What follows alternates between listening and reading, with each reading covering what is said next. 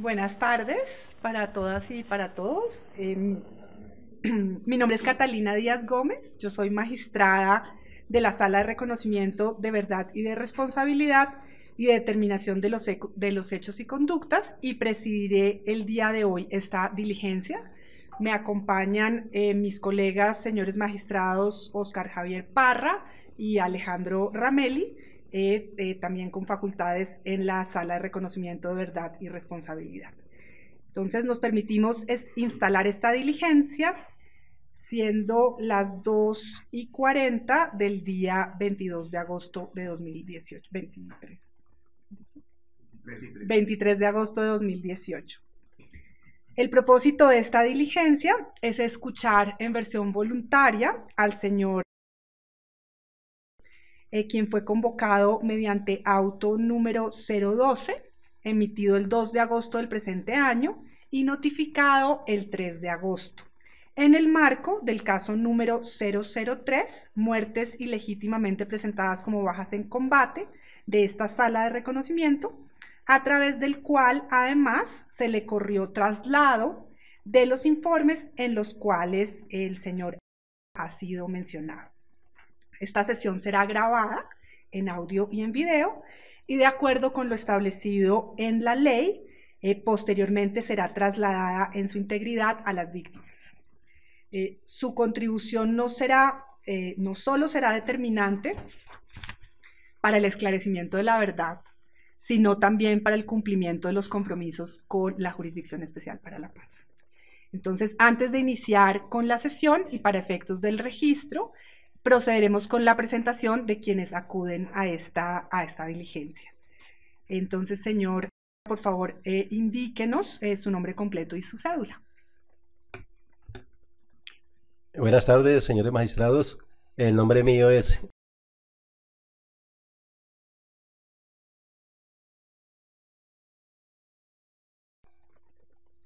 Eh, señor Ávila, ¿quién lo va a representar judicialmente? Eh, va a representar el doctor Luis Alberto Sepúlveda Villamizar. Eh, doctor Sepúlveda, le ruego por favor que se identifique. gracias, señora magistrada y señores magistrados, muy buenas tardes. Luis Alberto Sepúlveda Villamizar, con cédula de ciudadanía 13.237.706, tarjeta profesional 61845 del Consejo Superior de la Judicatura. Soy abogado de Fondetec.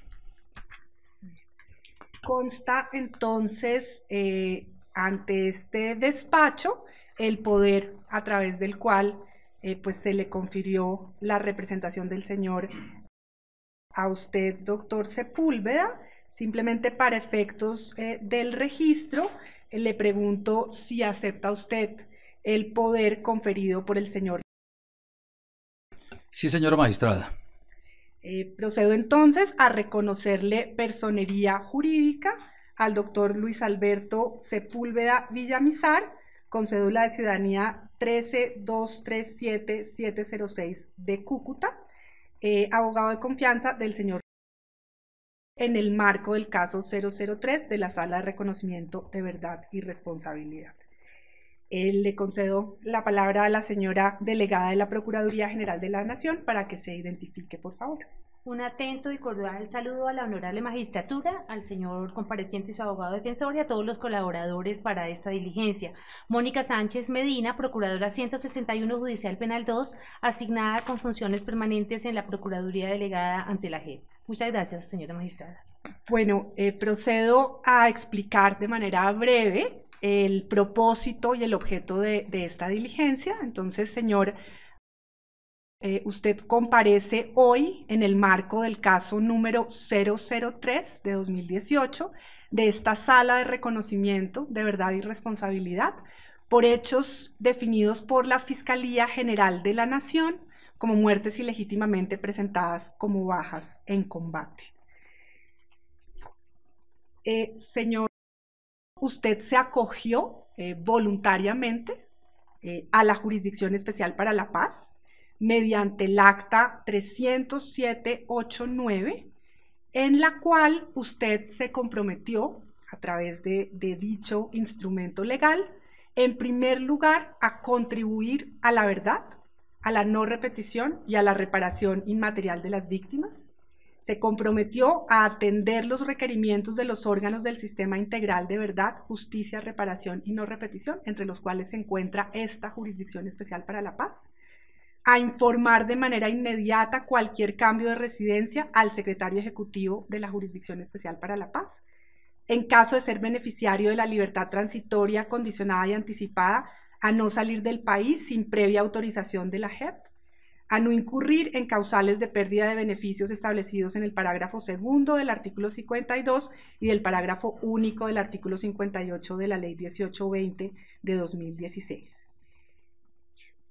Mm, quisiera entonces, en primer lugar, preguntarle si es su voluntad expresa, inequívoca, libre, reiterarse en acogerse a este procedimiento de la Jurisdicción Especial para la Paz y a que este procedimiento continúe.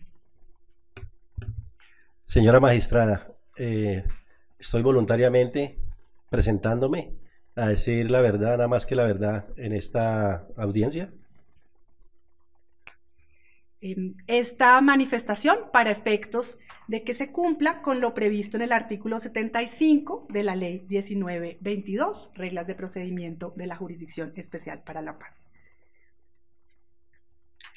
Em, como consta en el expediente, usted es, eh, recibió y está disfrutando de su libertad eh, condicionada, anticipada, transitoria. Esa libertad, como su nombre lo indica, es condicionada. La primera condición es atender los requerimientos de la Jurisdicción Especial para la Paz. Este es uno de ellos. Y la segunda condición es aportar a la verdad plena. Quisiera en este momento eh, reiterar lo que nuestra constitución política dice expresamente sobre qué es la verdad plena.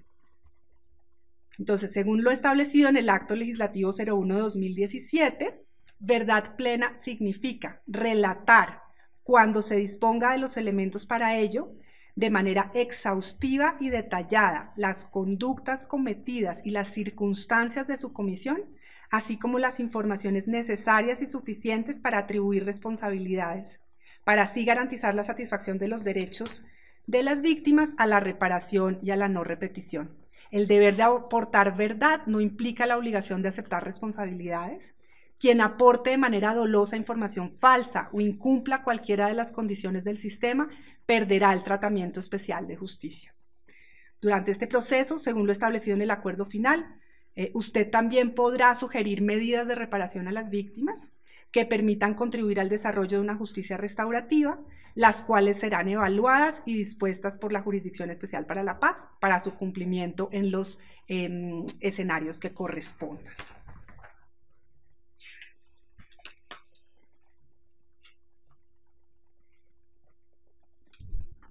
El incumplimiento por parte de los sometidos de cualquiera de las condiciones del sistema, en primer lugar la de aportar verdad plena, o de las sanciones impuestas por la Jurisdicción Especial para la Paz, tendrá como efecto la pérdida de los tratamientos especiales, beneficios, renuncias, derechos y garantías según el caso. Dicho cumplimiento será verificado caso por caso y de manera rigurosa por la Jurisdicción Especial para la Paz. Me permito indicar eh, en este último eh, paso de esta explicación introductoria lo eh, referido por el artículo 27A de las reglas de procedimiento, que es la norma que regula las versiones voluntarias. y quiero que pues sea muy claro que se advierte que usted no está obligado a declarar contra sí mismo ni contra su cónyuge compañero permanente o pariente dentro del cuarto grado de consanguinidad, segundo civil y primero de afinidad. La aceptación de la autoría o participación por parte del compareciente en esta versión tendrá el valor de confesión. Esta versión tiene como propósito el acopio de información para contribuir a la búsqueda de la verdad. Le pregunto entonces, señor Ávila, si son claras para usted las obligaciones. Señora magistrada, son muy claras las obligaciones. Entonces, con lo anterior, agotamos esta breve explicación sobre el procedimiento y las obligaciones derivadas de las condiciones eh, del sistema integral de verdad, justicia, reparación y no repetición, como la de aportar verdad plena, exhaustiva y detallada, eh, pues que están vinculadas al beneficio de la libertad condicionada anticipada. Em, también hemos verificado la comprensión de estas condiciones y ahora pues vamos a continuar con eh, las preguntas que nos permitirán pues esclarecer realmente lo, sucedido y confirmar su aporte a la verdad plena, detallada y exhaustiva. En primer lugar, me permito preguntarle pues unas preguntas generales. Eh, en primer lugar, si a usted lo han conocido con otros nombres dentro o fuera del ejército. No, señora, siempre me han conocido por el sargento primero ¿Usted pertenece o se autoidentifica como miembro de algún grupo étnico? No, señora. Em, ¿Cuál es su lugar y fecha de nacimiento? Mi lugar de nacimiento.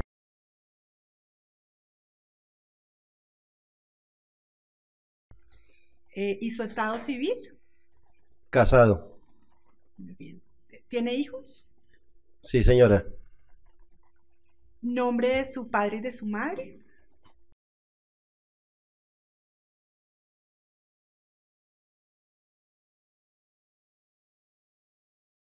Bueno, ¿cuál es su nivel de estudios? Eh, bachiller.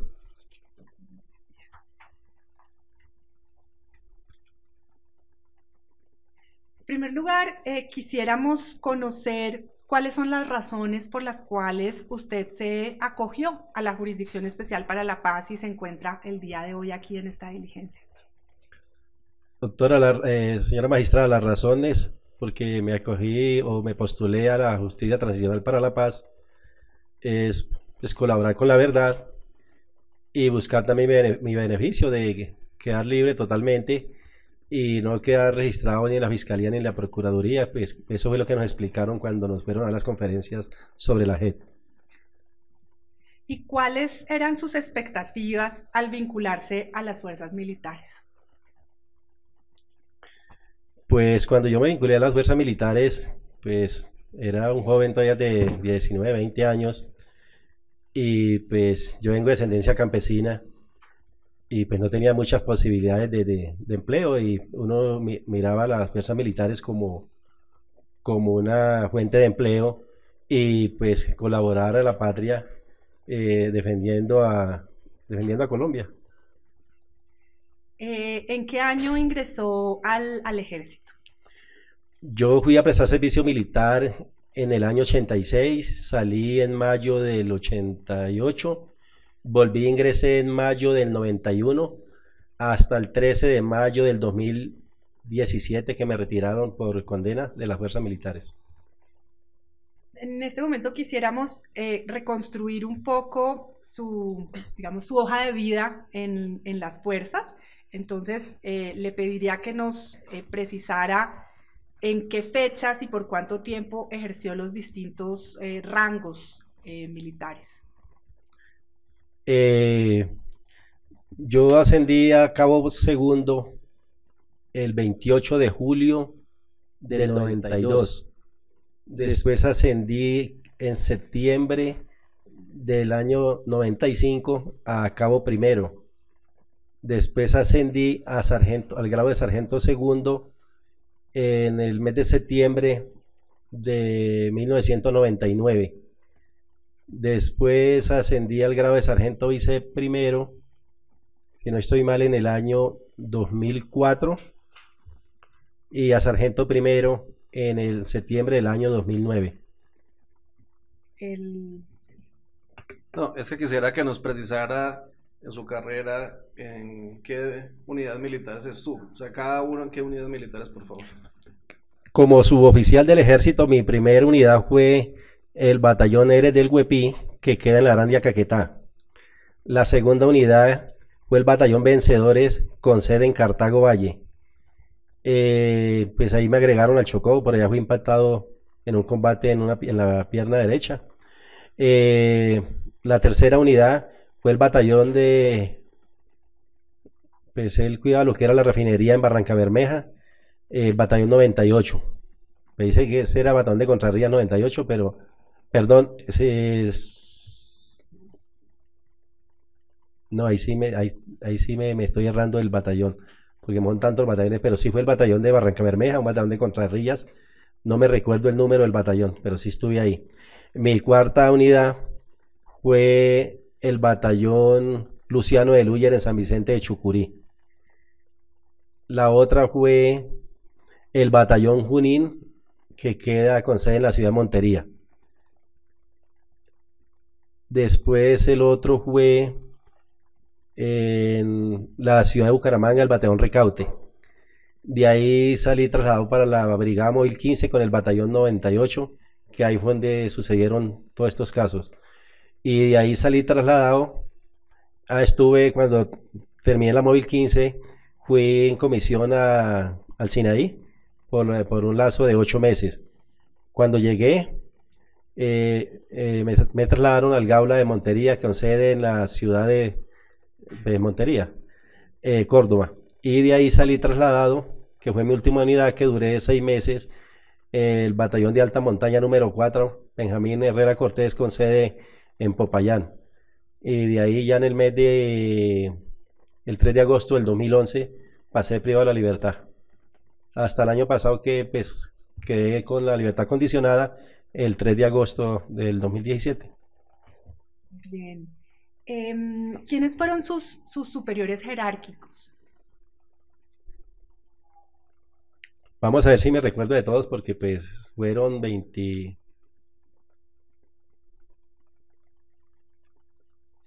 Eh... No, no, mira. En el batallón Huepi, que fue de cabo segundo, pues tuve varios, varios comandantes. En el lazo que tuve como tres años, hubieron varios coroneles. Pues me acuerdo de un coronel eh, de apellido Rueda, que le decían el Pecoso Rueda. Eh, después en el batallón de El Vencedores, tuve un comandante coronel Rodríguez y un mayor de apellido Rincón Rincón Luis Francisco. Eh, después el batallón de de Barranca Bermeja, ahí sí no me acuerdo porque pues yo duré duré 15 días ahí, ahí me, me agregaron a, a, un batallón de reentrenamiento en Aguachica, duré un año y salí a hacer curso para, para sargento segundo. Eh, después el otro batallón que estuve en el Luciano de Luyer, eh, tuve a un coronel Ayala, eh, Maya. Eh, después en el, el batallón Recaute en Bucaramanga, tuve al coronel, que hoy es general, general Carvajal Villamizar. Eh, en el batallón de alta montaña tuve a mi coronel se me escapa en este momento el, el, el, nombre. En la Brigada Móvil 15, pues el comandante de la Brigada Móvil 15 era el coronel Herrera Fajardo Santiago. Y el comandante del batallón 98 ahí en la Brigada Móvil 15 era el mayor Terán. En el, en el Gaula de Montería eh, tuve como comandante a un mayor Bautista, Después se fue, llegó otro mayor, en este momento la verdad no, no, no lo recuerdo. Esos fueron los comandantes que tuve, eh, que eran los comandantes de los batallones o, los, o de los gaulas. Además de, de, esos comandantes, ¿usted le reportaba directamente a algún otro? Pues uno siempre tuvo comandantes porque pues uno empezó con comandante de escuadra y empezó como comandante de escuadra y uno reportaba a ellos y ellos le, le reportaban al, digamos, al mayor o al coronel en, la, en las unidades, porque es un, es un, un, mando que empieza de abajo a, hacia arriba, desde subtenientes a, a, coroneles y de los oficiales de cabo a, a sargentos primeros, sargentos mayores. ¿Qué condecoraciones ha recibido usted? ¿Qué, qué condecoraciones ha recibido usted y por qué razones? Eh, señora magistrada, eh, pues yo recibí varias condecoraciones durante mi carrera militar, pero cuando pasaron al lugar de los hechos, pues recibí, eh, creo que la medalla de, de orden público y pues el premio ir al, al, al Sinaí. Pues durante mi carrera militar en varias unidades recibí varias medallas, recibí también una medalla de orden público en la Operación Berlín en Bucaramanga, en vida del general Carreño, porque él ya falleció. Eh, tengo tengo pues, varias medallas, creo que tengo la Córdoba, tengo la, la Nariño, son medallas por tiempo, por buena conducta. Em, hemos encontrado que usted eh, recibió el distintivo Jineta de Buena Conducta y queríamos saber por qué lo recibió y Eso en cada grado le dan a usted un, un le dan a usted un, ¿qué? Una jineta de buena conducta. Por ejemplo, usted terminó el grado de cabo segundo, ya cuando usted asciende a cabo primero, pues ya eso van apareciendo aquí en, la- en las mangas, le van apareciendo a uno la, rayitas, esos son jinetas de buena conducta. Vamos ahora un poco al- a la Brigada Móvil 15. ¿Cuándo llegó usted a la BRIM 15? A la Brigada Móvil 15, yo me presenté terminando, finalizando el 2000, el 2004. Do- 2004, 2005, no, 2005, terminando el 2005, porque me presenté en la ESPRO, que queda con sede en, en Nilo, Cundinamarca, porque ahí estaban los soldados terminando de salir como soldados profesionales. Y ya nos dieron, a finales de año, nos dieron permiso y, y nos presentamos todos en un sitio que le llaman el Juncal, que era un batallón de reentrenamiento en el municipio de Aguachica. Ya de ahí nos, nos repartieron, unos nos fuimos para Valledupar y otros se fueron para la ciudad de Ocaña. ¿Y cuál era su función en la, en la Brigada Móvil 15? Mi función en la Brigada Móvil 15 era, eh, cuando empecé, pues era reemplazante de pelotón. Cuando estuvimos por el lado del Cesar. Nosotros llegamos en junio del Cesar, llegamos a la ciudad de Ocaña y siempre pues tuve, un, un comandante. El comandante que tuve ahí en la ciudad de Ocaña era el teniente forero Medina Carlos.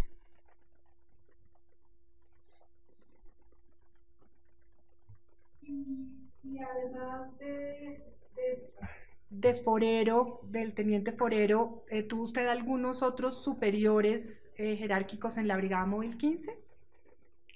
Sí, señora. ¿Quiénes? En la Brigada Móvil 15, pues ahí en el momento de, ya a partir de junio del 2006, pues tuve al teniente forero, pero pues ahí arriba pues estaba, estaba el, el comandante de batallón que era el mayor Terán, eh, estaba el coronel Rincón Amado, que era el 3 de la, de la brigada, que él llegó en el año 2007. Eh, estaba el coronel Herrera, que era el, el comandante de la brigada móvil en el año 2007. ¿Y usted recibía órdenes de quiénes y, de, y qué rangos tenían ellos? El comandante directo mío era el teniente forero, porque él era teniente y yo era suboficial. El pelotón se compartía, eh, entonces lo dividieron en dos, estaba Esparta 1 y Esparta 2, pero el directo comandante era el teniente forero, que era el, el que yo tenía en el momento ahí.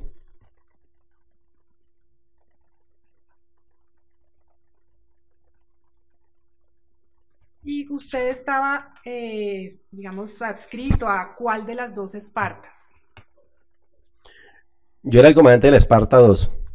El teniente forero se fue trasladado, no me acuerdo si fue en julio o agosto, y ahí quedé comandante yo de, de la Esparta, de la, o sea, comandante del pelotón, pero el pelotón se siguió dividiendo en dos Espartas, Esparta 1 que la tenía el, el sargento Ríos Marín y Esparta 2 que era donde yo estaba, eh, que era el comandante.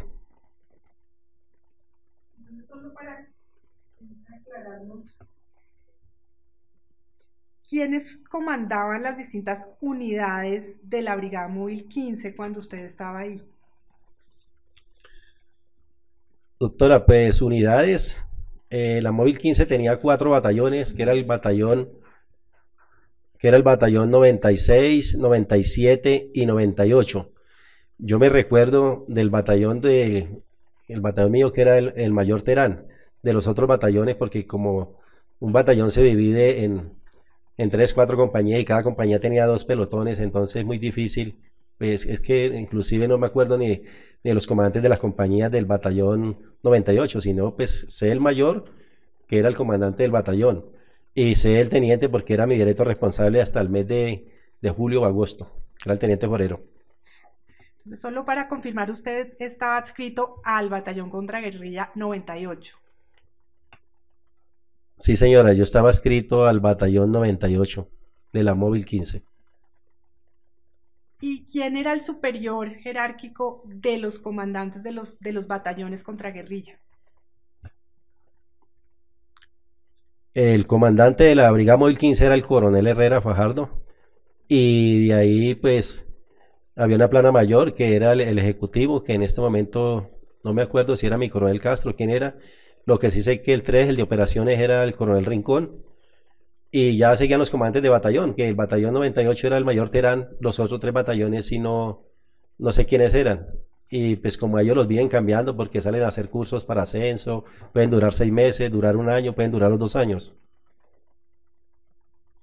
¿Y usted con qué comandantes de los batallones contraguerrilla eh, y pues de la Brigada Móvil 15 tenía relación? Doctora, eh, el batallón 98, eh, la sede del batallón era en el Tarra. Eh, allá, como a mediados de, a, a, a, principio de, del año 2007, eh, sacaron un grupo especial. Entonces el grupo especial se llamaba Grupo Especial Esparta. El comandante del grupo era el teniente Forero. Y yo seguía en, antigüedad o, o, en rango, que era sargento viceprimero Ávila. Y luego ahí seguía el sargento Ríos y seguían unos cabos, que seguía el cabo Torralbo Hernández, seguía el cabo Verdecia Maestre, seguía el cabo Gutiérrez, seguía el cabo Moncada, que era el de menos rango ahí, y luego yo trasladaba un cabo de apellido Hernández. Um, usted nos, nos, indica que Esparta entonces era un grupo especial. ¿Qué, qué características diferentes o, o, digamos, por qué se reconocía o qué significaba que fuera un grupo especial? Una unidad especial en el ejército, pues si hablamos de batallones como las fuerzas especiales, pues son unidades especiales que las tienen para el combate, entrenadas para, para llegar a cualquier, las desembarquen en avión, helicóptero, en, cualquier lugar de Colombia para neutralizar al enemigo. Eh, en este caso nosotros, pues era un pelotón especial eh, que sacaron soldados y suboficiales y oficiales de diferentes compañías del batallón 98. Ese grupo especial quedó bajo el mando del coronel Herrera, solamente el coronel Herrera lo dirigía y el 3 que era el de la el 3 de la brigada que era mi coronel Rincón y el comandante que era el teniente Jorero.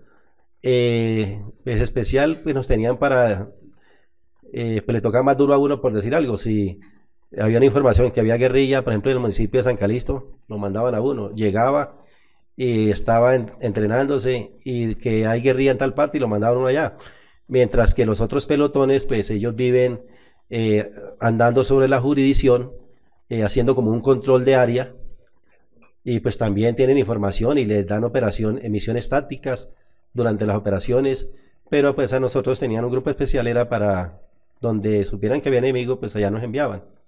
Solo para confirmarme, eh, es decir, que ese grupo especial le reportaba directamente al comandante de la Brigada Móvil 15? Sí, señora, tenía, le reportaba al coronel Herrera y recibía órdenes de ese comandante. Sí, recibía, recibía, recibía órdenes de, del comandante de la brigada y del 3 de la brigada que era el coronel Rincón. Mientras cuando estaba el teniente Forero al mando, pues él era el que reportaba.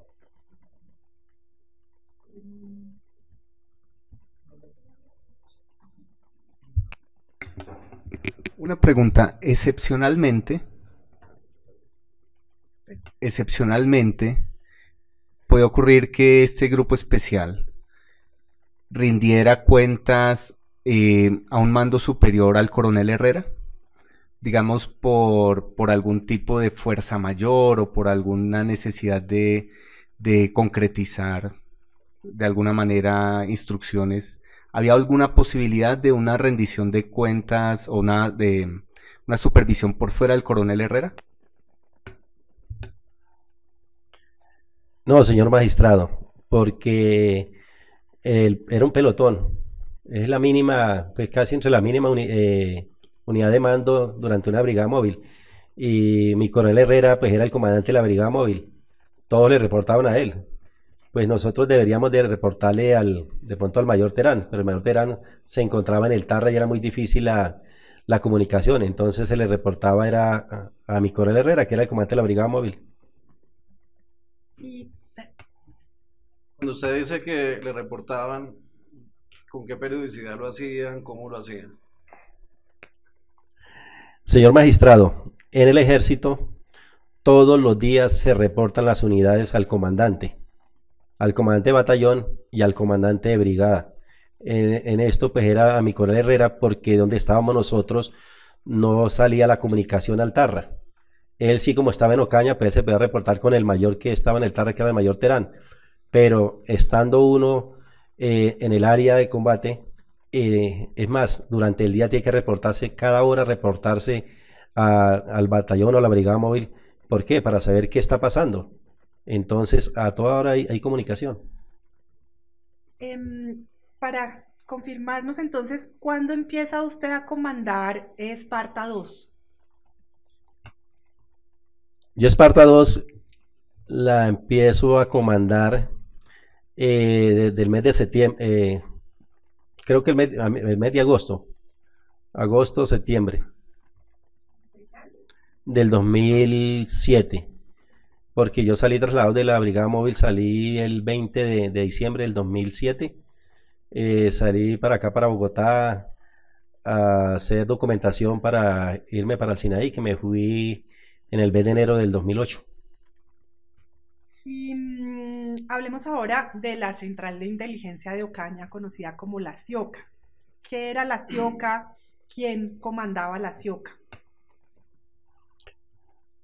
Señora magistrada, lo de la CIOCA yo sabía que era una central de inteligencia, pero de eso sí no tengo conocimiento porque yo era, al principio era eh, el segundo al mando de Esparta, de Esparta y después quedé al mando de la Esparta, que era Esparta 1 y Esparta 2.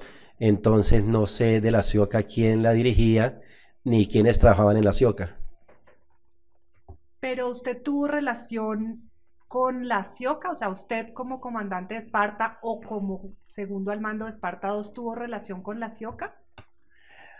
No, señora, porque eh, la CIOCA tenía un, primero tenía un oficial allá en el Carmen, que fue donde ocurrieron los hechos, tenía un, eh, que el alias de él allá era el teniente Camilo, que es el teniente Ospina, él trabajaba de civil ahí, él hablaba con los campesinos, con los comerciantes y él recopilaba información durante la semana y creo que él rendía, porque pues nunca tuve certeza, creo que él rendía un, un boletín de inteligencia y lo mandaba a Ocaña. Con ese boletín, la CIOCA eh, lo procesaban y sacaban las misiones tácticas, que es, lo que desarrolla uno como comandante pelotón que está allá en, digamos, en el, en el monte, digamos así. ¿Me puede precisar, eh, señor Ávila, el nombre de ese enlace de la CIOCA en el Carmen? ¿Los nombres que usaba esa persona? Eh, señora magistrada, primero estuvo el, el teniente Ospina Plata, que pues, él, se llamaba ya Camilo por seguridad de él.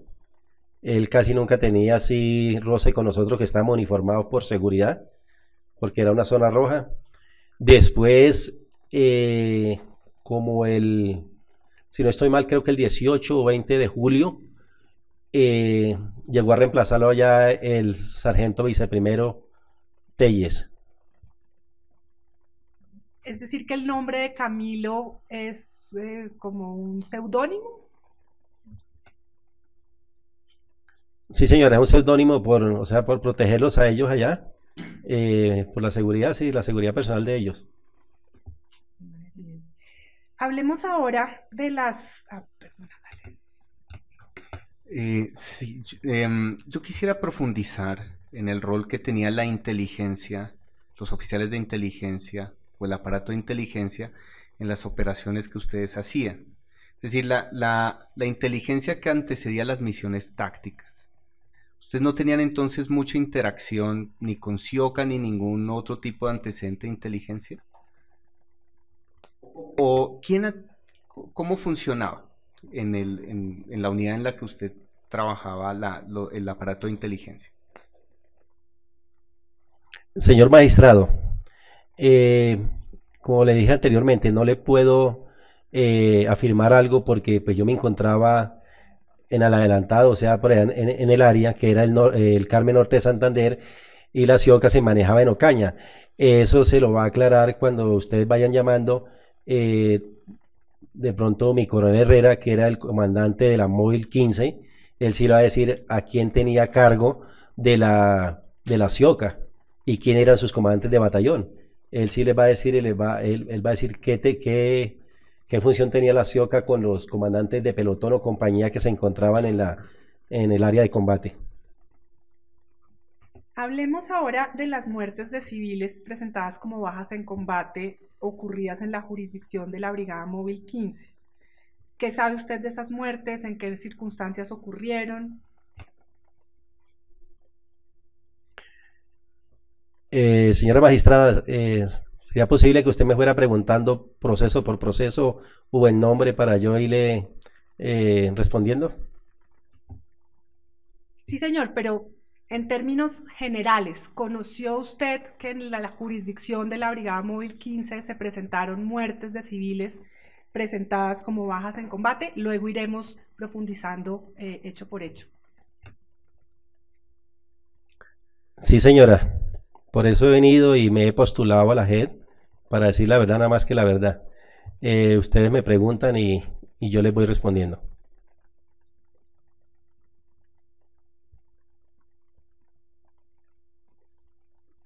Hablemos entonces em, del caso del señor, eh, pues que fue calificado por la justicia ordinaria en primera y segunda instancia como homicidio en persona protegida y por el cual fue condenado, hechos del 8 de mayo de 2007. ¿Usted qué recuerda de esos hechos? ¿Cómo sucedieron? ¿Quién era el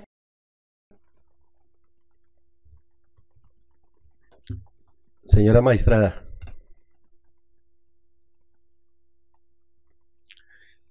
eh, yo me encontraba ahí en el municipio del Carmen con el teniente forero y él un día me dijo, Sargento Ávila, vaya con un soldado a un determinado sitio ahí de- del- del municipio. Me dijo, párese ahí, que ahí va a llegar el teniente, ahí va a llegar el, el- porque le decían que era el teniente Ospina, y él le va a mostrar a un miliciano y le va a decir cómo se llama, que él es miliciano. Eh, yo fui con el soldado Rodríguez Ortiz Jefferson y nos paramos ahí. Luego se nos arrimó el, el, el teniente Ospina y me dijo, sargento, si está viendo el señor X. Yo disimuladamente volteé a mirar y, y el soldado también dijo, "Eh, la gente dice que él es miliciano y se llama eh, entonces pues yo lo dejé presente y el soldado también. Eso pasó ese día. Yo no volví a tener contacto con él. Eh, después a los días pues yo me imagino que él hizo un boletín de, de inteligencia y lo mandó a la ciudad de Caña, a la CIOCA o al comandante de la brigada móvil entonces a los días me dice el cabo Gutiérrez, mi primero me llegó un paquete, me llegó un paquete de la ciudad de Ocaña. Entonces le dije, ¿qué es? Entonces él me dijo que era un fusil AK-47. Entonces el cabo se hizo cargo del fusil y él andaba con el fusil. Eh, no sé quién se lo mandó, sino que él dijo que le había llegado una encomienda. A mí sí me decían, eh, cuando yo ya quedé al mando de, del pelotón, el mes de agosto para adelante hasta el 20 de diciembre, que, no, como hasta el 8 de diciembre que yo salí, eh, a mí sí, el- mi coronel Herrera me decía que le diera permiso al cabo, al cabo Gutiérrez. ¿Para dónde se iba? No sé si iba para la ciudad de Ocaña, se iba porque había vía a la costa, no sé. Ahí fue cuando el cabo pues iba apareciendo con, iba apareciendo con, con las armas. Eh, entonces el día 7 de, de mayo del año 2007 nos llegó una misión táctica. Eh, el teniente Forero estaba ahí y me dijo, Sargento Ávila, haga la misión táctica a usted, le toca a usted. Entonces, pues, y en la, misión táctica iba registrado mi nombre, que iba de comandante de esa misión o de esa operación. Eh, yo salí con, con el grupo mío, que ahí iba, el- iba el cabo Gutiérrez, que era el puntero con sus soldados, iba el cabo Verdesia, y iba el cabo Torralbo conmigo, salimos más o menos a las 9 de la noche. Ah, llegábamos un guía que era un viejito, que él ya murió, eh, le decían alias el diablo, nunca supe cómo se llamaba. Él sabía eh, dónde quedaba la finca donde íbamos a hacer la misión táctica. Eh, la finca, él no sé si era cuidante era mayordomo que era, donde vivía la, la víctima. Nosotros llegamos, el señor nos llevó cerca a la casa ahí y me dijo, ahí la misión táctica, perdón, la misión táctica decía que había un grupo guerrillero porque el les había subido remesa. Entonces el viejito, el informante, nos decía que llegábamos a, eh, frente a la casa porque uno subía y el camino seguía y la casa seguía como a 50 metros a mano derecha estaba la casa en un cafetal. Entonces que nosotros subiendo, que tuviéramos mucho cuidado porque más arribita tenía el campamento de la guerrilla, donde estaban a los que le llevaron la remesa. Eh, subió el cabo Gutiérrez, subió el cabo Verdesia, ellos llegaron hasta arriba al cerro y no se encontró nada. Entonces dejé al cabo Verdesia en todo el cerro, más abajito dejé al cabo Gutiérrez y luego me hice yo con el cabo Torralbo. Eso fue más o menos 4 de la mañana porque el viejito se devolvió, dijo que le daba miedo a un combate y de pronto lo mataban, él se devolvió. Eh, 6 de la mañana, pues toda esa madrugada entre 4 y 6 de la mañana los perros ladraban, pero no para el lado donde estábamos nosotros, sino para el lado de abajo por donde nosotros habíamos subido. Eh, entonces le al cabo Torralbo, le dije, Torralbo, bájese con su grupo, que en ese grupito iba el soldado Rodríguez Ortiz Jefferson. Le dije, vaya, hágase un registro y mire a ver qué es lo que pasó.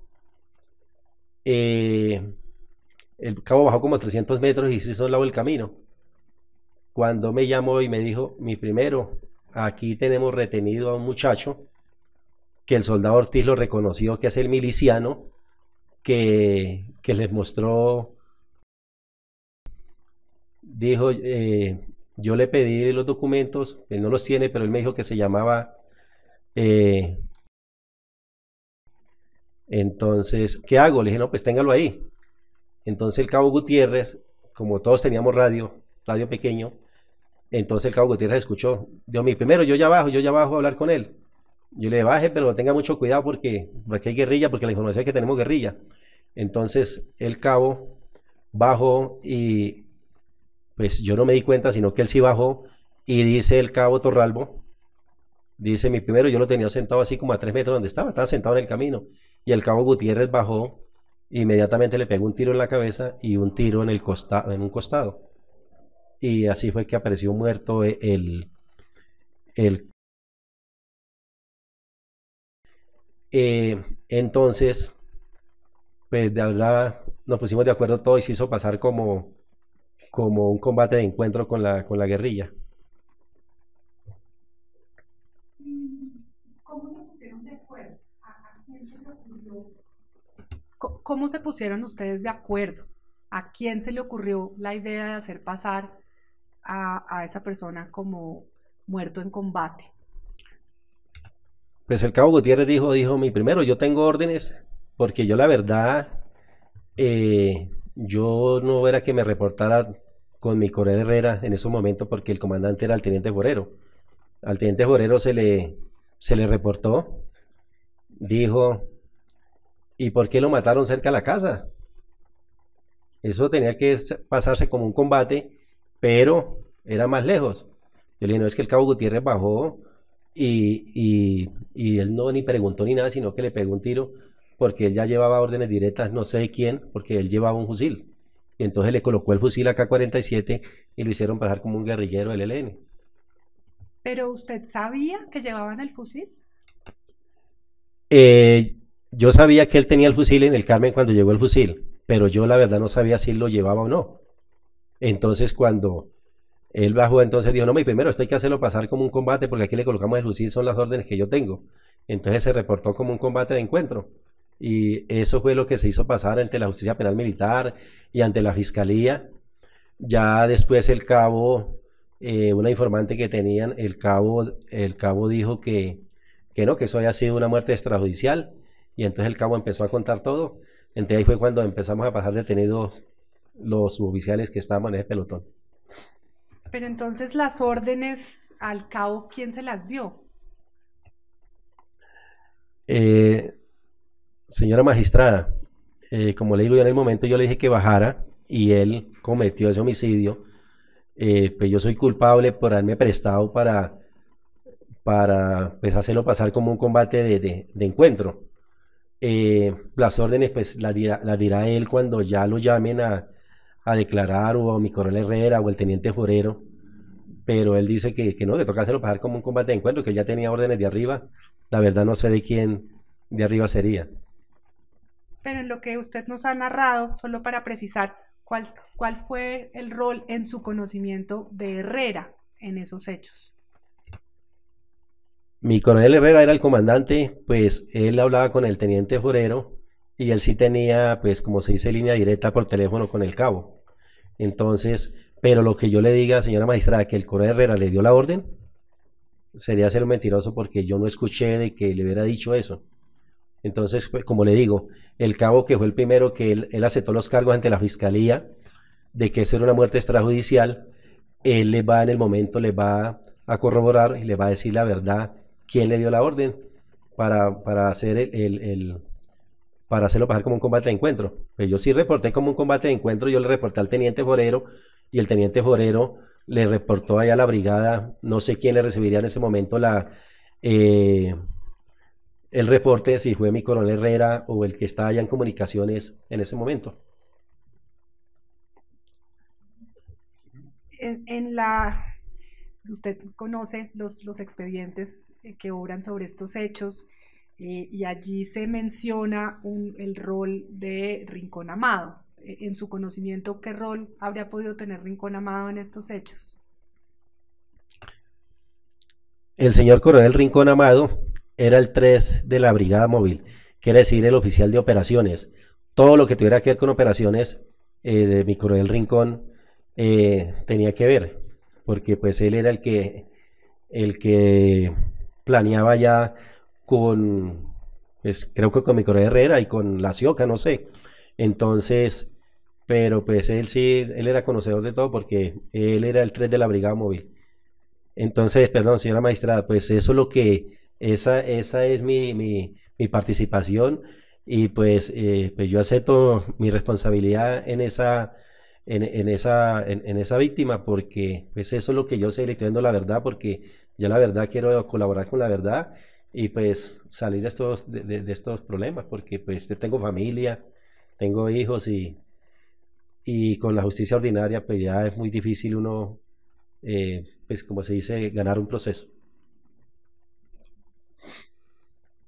¿Y después de esos hechos eh, recibieron algún tipo de beneficio, de felicitación, de algo? ¿Y por parte de quién? Lo que pasa es que cada, pues cada seis meses le daban a uno por tiempo, le daban un permiso de, de 15 días y pues cada quien tiene unas vacaciones por, por ley. Entonces, por ejemplo, yo como era sargento, pues yo pedía mis vacaciones para cualquier mes de, del año. Y los soldados, pues a ellos sí, los como era cantidad, entonces a ellos los sacaban eh, a vacaciones todos en grupo. y en ese entonces le daban unos cinco días de permiso por cada muerte en combate. O sea que por ese hecho específico recibieron ese tipo de permisos. Sí, señor, sí, señor magistrado, se recibían cinco días de permiso y los que se destacaban, digamos, los que tuvieran en lugar de los hechos, eh, pues una felicitación. Entonces, pues ahí ese día, pues yo imagino que tuvo felicitación el teniente Borero, que era el comandante de pelotón, así no haya ido porque pues él era el, el directo comandante mío allá en el área. Y luego, eh, y yo también resulté felicitado ese día, y el cabo Gutiérrez.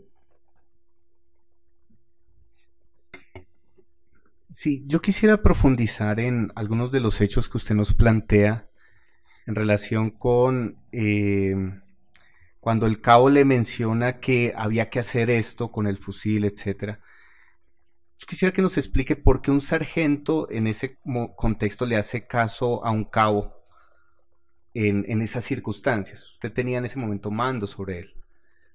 ¿Por qué, por qué razón eh, ¿Qué lo movió a usted a no, no ejercer su autoridad sobre el cabo? Señor magistrado, eh, estando allá en el área de combate y pasa una, una, cosa de esas, pues uno siempre va a pensar que, que, se va a embalar, como dicen en el ejército, que va a pasar detenido. Entonces dijeron, eh, se dijo allá al cabo, dijo mi primero, pues si este, si este, este señor eh, es miliciano, pues hagámoslo pasar en, como, un encuentro, como un combate de encuentro. Y se le coloca el fusil y todo. Y entonces la verdad, pues yo accedí eso. Y los que estamos ahí, pues todo el mundo accedieron a que se presentara como un combate de encuentro con, con el LN. Un poco de seguimiento de este punto, porque eh, esta persona está también involucrada al cabo con el fusil que se, que se consiguió para, para desarrollar estos hechos. Era usual que llegaran estas encomiendas con fusiles a cabos en el marco de la brigada. Eh, no, señor. Lo que pasa es que el cabo, eh, no sé qué hablaría él con mi coronel Rincón, que era el 3 de operaciones, eh, pero todo lo hablan con el cabo todo lo hablan con el cabo. Yo era como era el, reemplazante, a mí me decían arranque con una misión táctica para tal parte, pero en sí ya el cabo llevaba órdenes que, era lo que se iba a hacer. Eso es, eh, sí, que es, esa, es mi explicación. O sea que, según usted está indicando, el cabo se comunicaba por radio directamente con el comandante del batallón. Por radio no, señor magistrado, por teléfono. Ellos se comunicaban por teléfono. ¿Era satelital o algo? ¿Era cómo? un teléfono oficial o era un teléfono que no estaba registrado? ¿Qué teléfono era? No, teléfono celular, eh, teléfono, eh, teléfono personal de, del suboficial. Eh, señor Ávila, ¿nos puede recordar el nombre de, de ese cabo completo? El nombre de, del, del cabo. Estoy esperando que... Ah. El nombre del cabo es Néstor Guillermo, Guillermo Gutiérrez Salazar.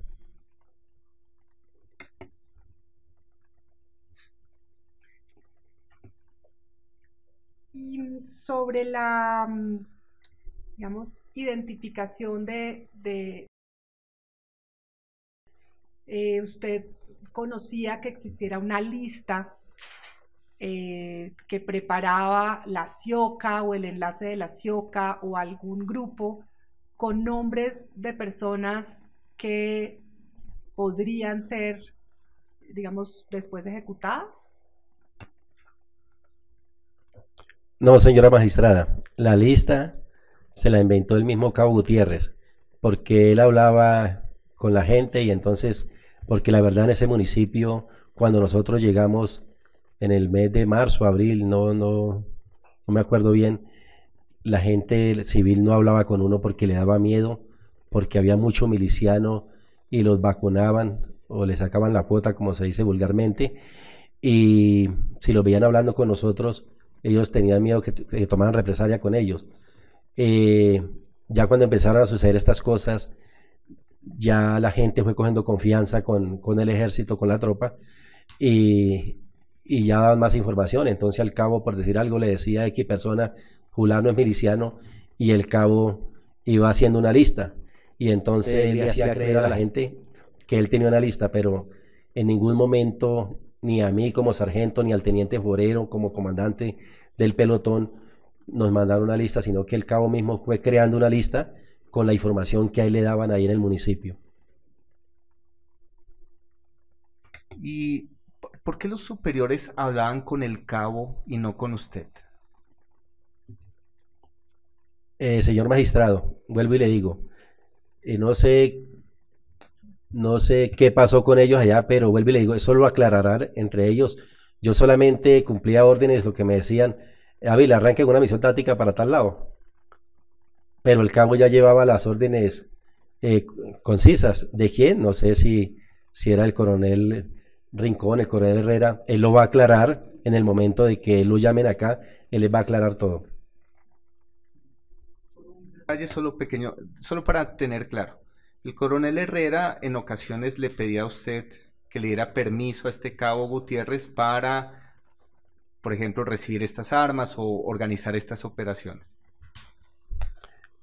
Señor magistrado, él solamente me decía, Ávila, déjeme salir al cabo. Cuando yo recibí, que quedé al cargo del pelotón del mes de agosto en adelante, el resto, eso lo manejaban por medio del teniente forero. El teniente forero dejaba salir al cabo porque me imagino que lo han llamado, no sé para que él saliera. Pero a mí solamente me decían, déjelo salir y, para de contar ahí. Entonces ya al cabo no sé si se iba para Ocaña, se iba para otro lado. Yo solamente cumplía con dejarlo salir. Solo para aclarar eh, las fechas, consta en los expedientes que los hechos en que se ejecutó al son del 8 de mayo del 2007. Y entonces, cuándo sería su ingreso a Esparta. Digamos.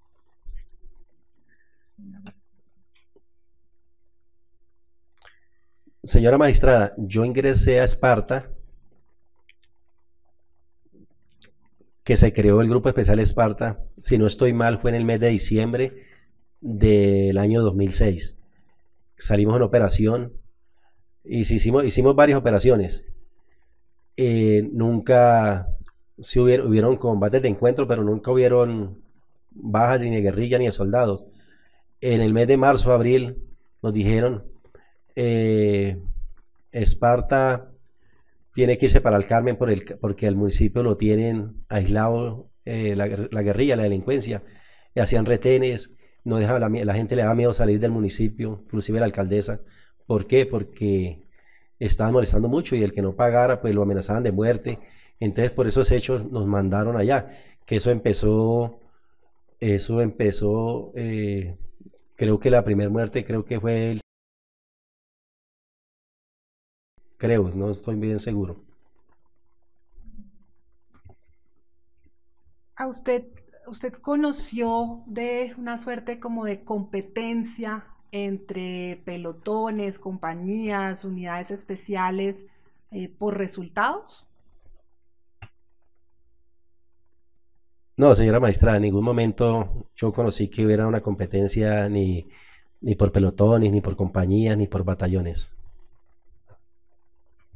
¿Recibió usted o recibió la, la unidad eh, bajo su mando, las unidades bajo su mando, algún tipo de, presiones para eh, producir resultados operacionales? No, presiones sí habían, porque uno todos los días a las cinco y media, seis de la mañana, cuando se reportaba o se hacía el programa con la brigada, uno tenía que decir, eh, por decir algo, buenos días, mi coronel, eh, Esparta 2 se reporta sin, sin bajas, o sin combates hace cinco días, ocho días, un mes, dos meses, el tiempo que lleva. Entonces, de una forma u otra, eh, era una presión, era una presión para uno. Y cuando usted se refiere al coronel en esos programas, a qué coronel se refería y cómo funcionaba ese programa. ¿Es un programa de, radio y cómo funcionaba eso? Señora magistrada, es un programa radial donde todas las unidades, batallones, compañías y pelotones se reportan. eh, pues nosotros reportamos al comandante de la brigada porque eso se debe reportar es al comandante de batallón, pero no salía la, la comunicación porque eso es un hueco. Entonces salía era Ocaña.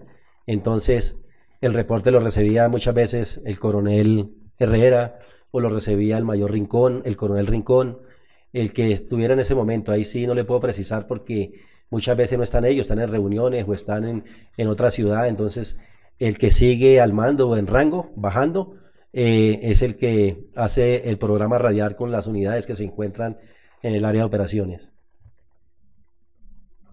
No, ese programa era diario. Eh, se hacía un programa con el, el 3, que era el oficial de operaciones, que era mi coronel Rincón, y si él no se encontraba, pues el que le seguía a él en, en el, en el qué, en el en rango o en el mando ahí. ¿Por qué? Porque había eh, la, la brigada móvil pues tiene un mando que era mi coronel Herrera, luego seguía eh, el, el jefe de Estado Mayor que es el encargado de, de pagar, de víveres y todo, que no tiene nada que ver con eso, que, ese, que en ese tiempo era mi coronel Castro, y luego seguía el coronel Rincón, que era el de operaciones, y está también el, el coronel o mayor, que era el de la Cioca, que ese sí yo nunca, porque lo cambiaban cada nada, y no sé, porque yo la verdad nunca tuve acceso a la Cioca, mentiroso sería si yo les dijera eso, sino que eso se va aclarando en, en el camino. Pero el programa radial sí se hacía en las mañanitas con el, el de operaciones y con el comandante de la brigada, y en las noches se hacía con el de operaciones solamente. Cuando usted habla de resultados, cuando usted habla de resultados operacionales, ¿a qué se refiere exactamente? Resultados operacionales en una brigada móvil pues son capturas, caletas o droga que se coja o muertes en combate. Esos son los resultados operacionales. Entonces uno se reportaba y decía, llevo tantos días sin, sin resultados. Entonces, resultados pues va todo lo que le acabo de, de- de explicar. Y era la misma reacción de los comandantes frente a una desmovilización, por ejemplo, una captura, que a una muerte.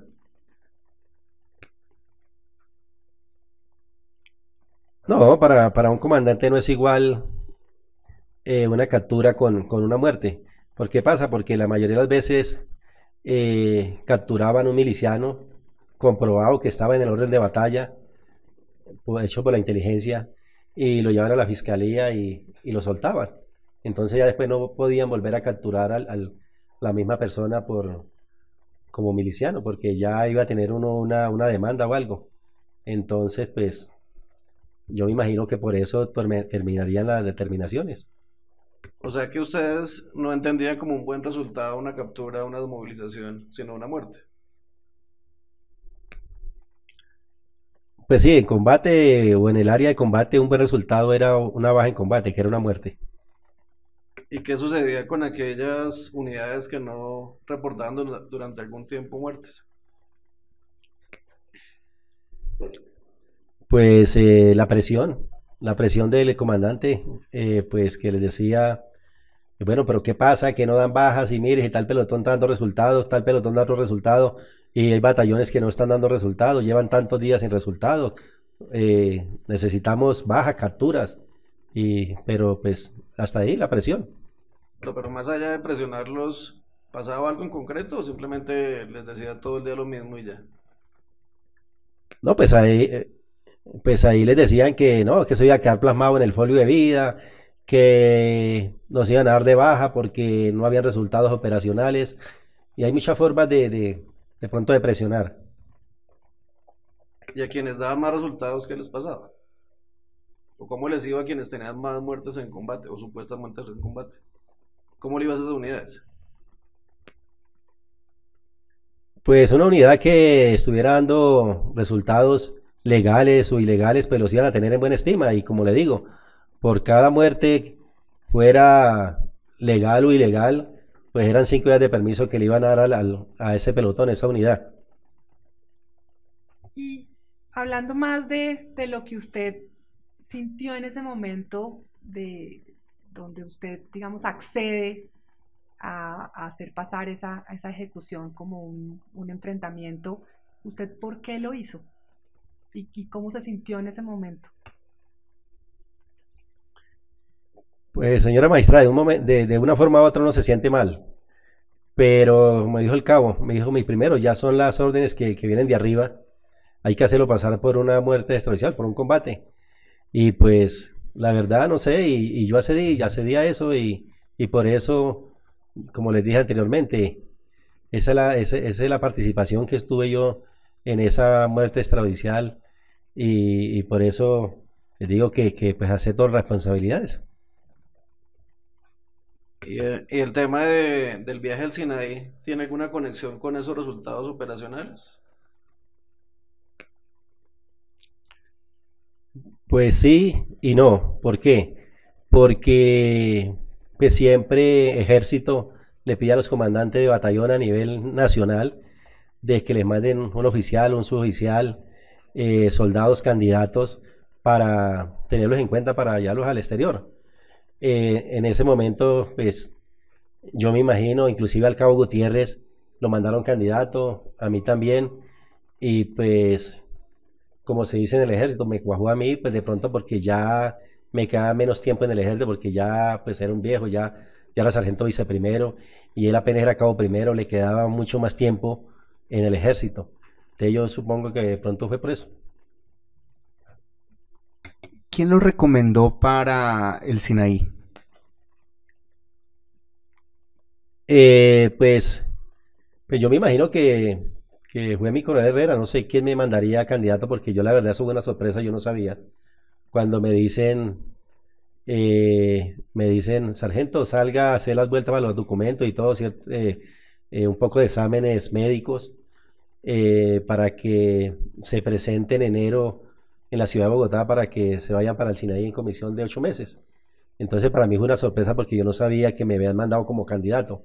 Entonces no sé quién me mandó de candidato, si fue mi coronel Herrera, si fue mi coronel Castro, si fue el coronel Rincón, no, no sé. ¿Y recuerdas por qué hechos lo envían al Sinaí? ¿Por las bajas en combate?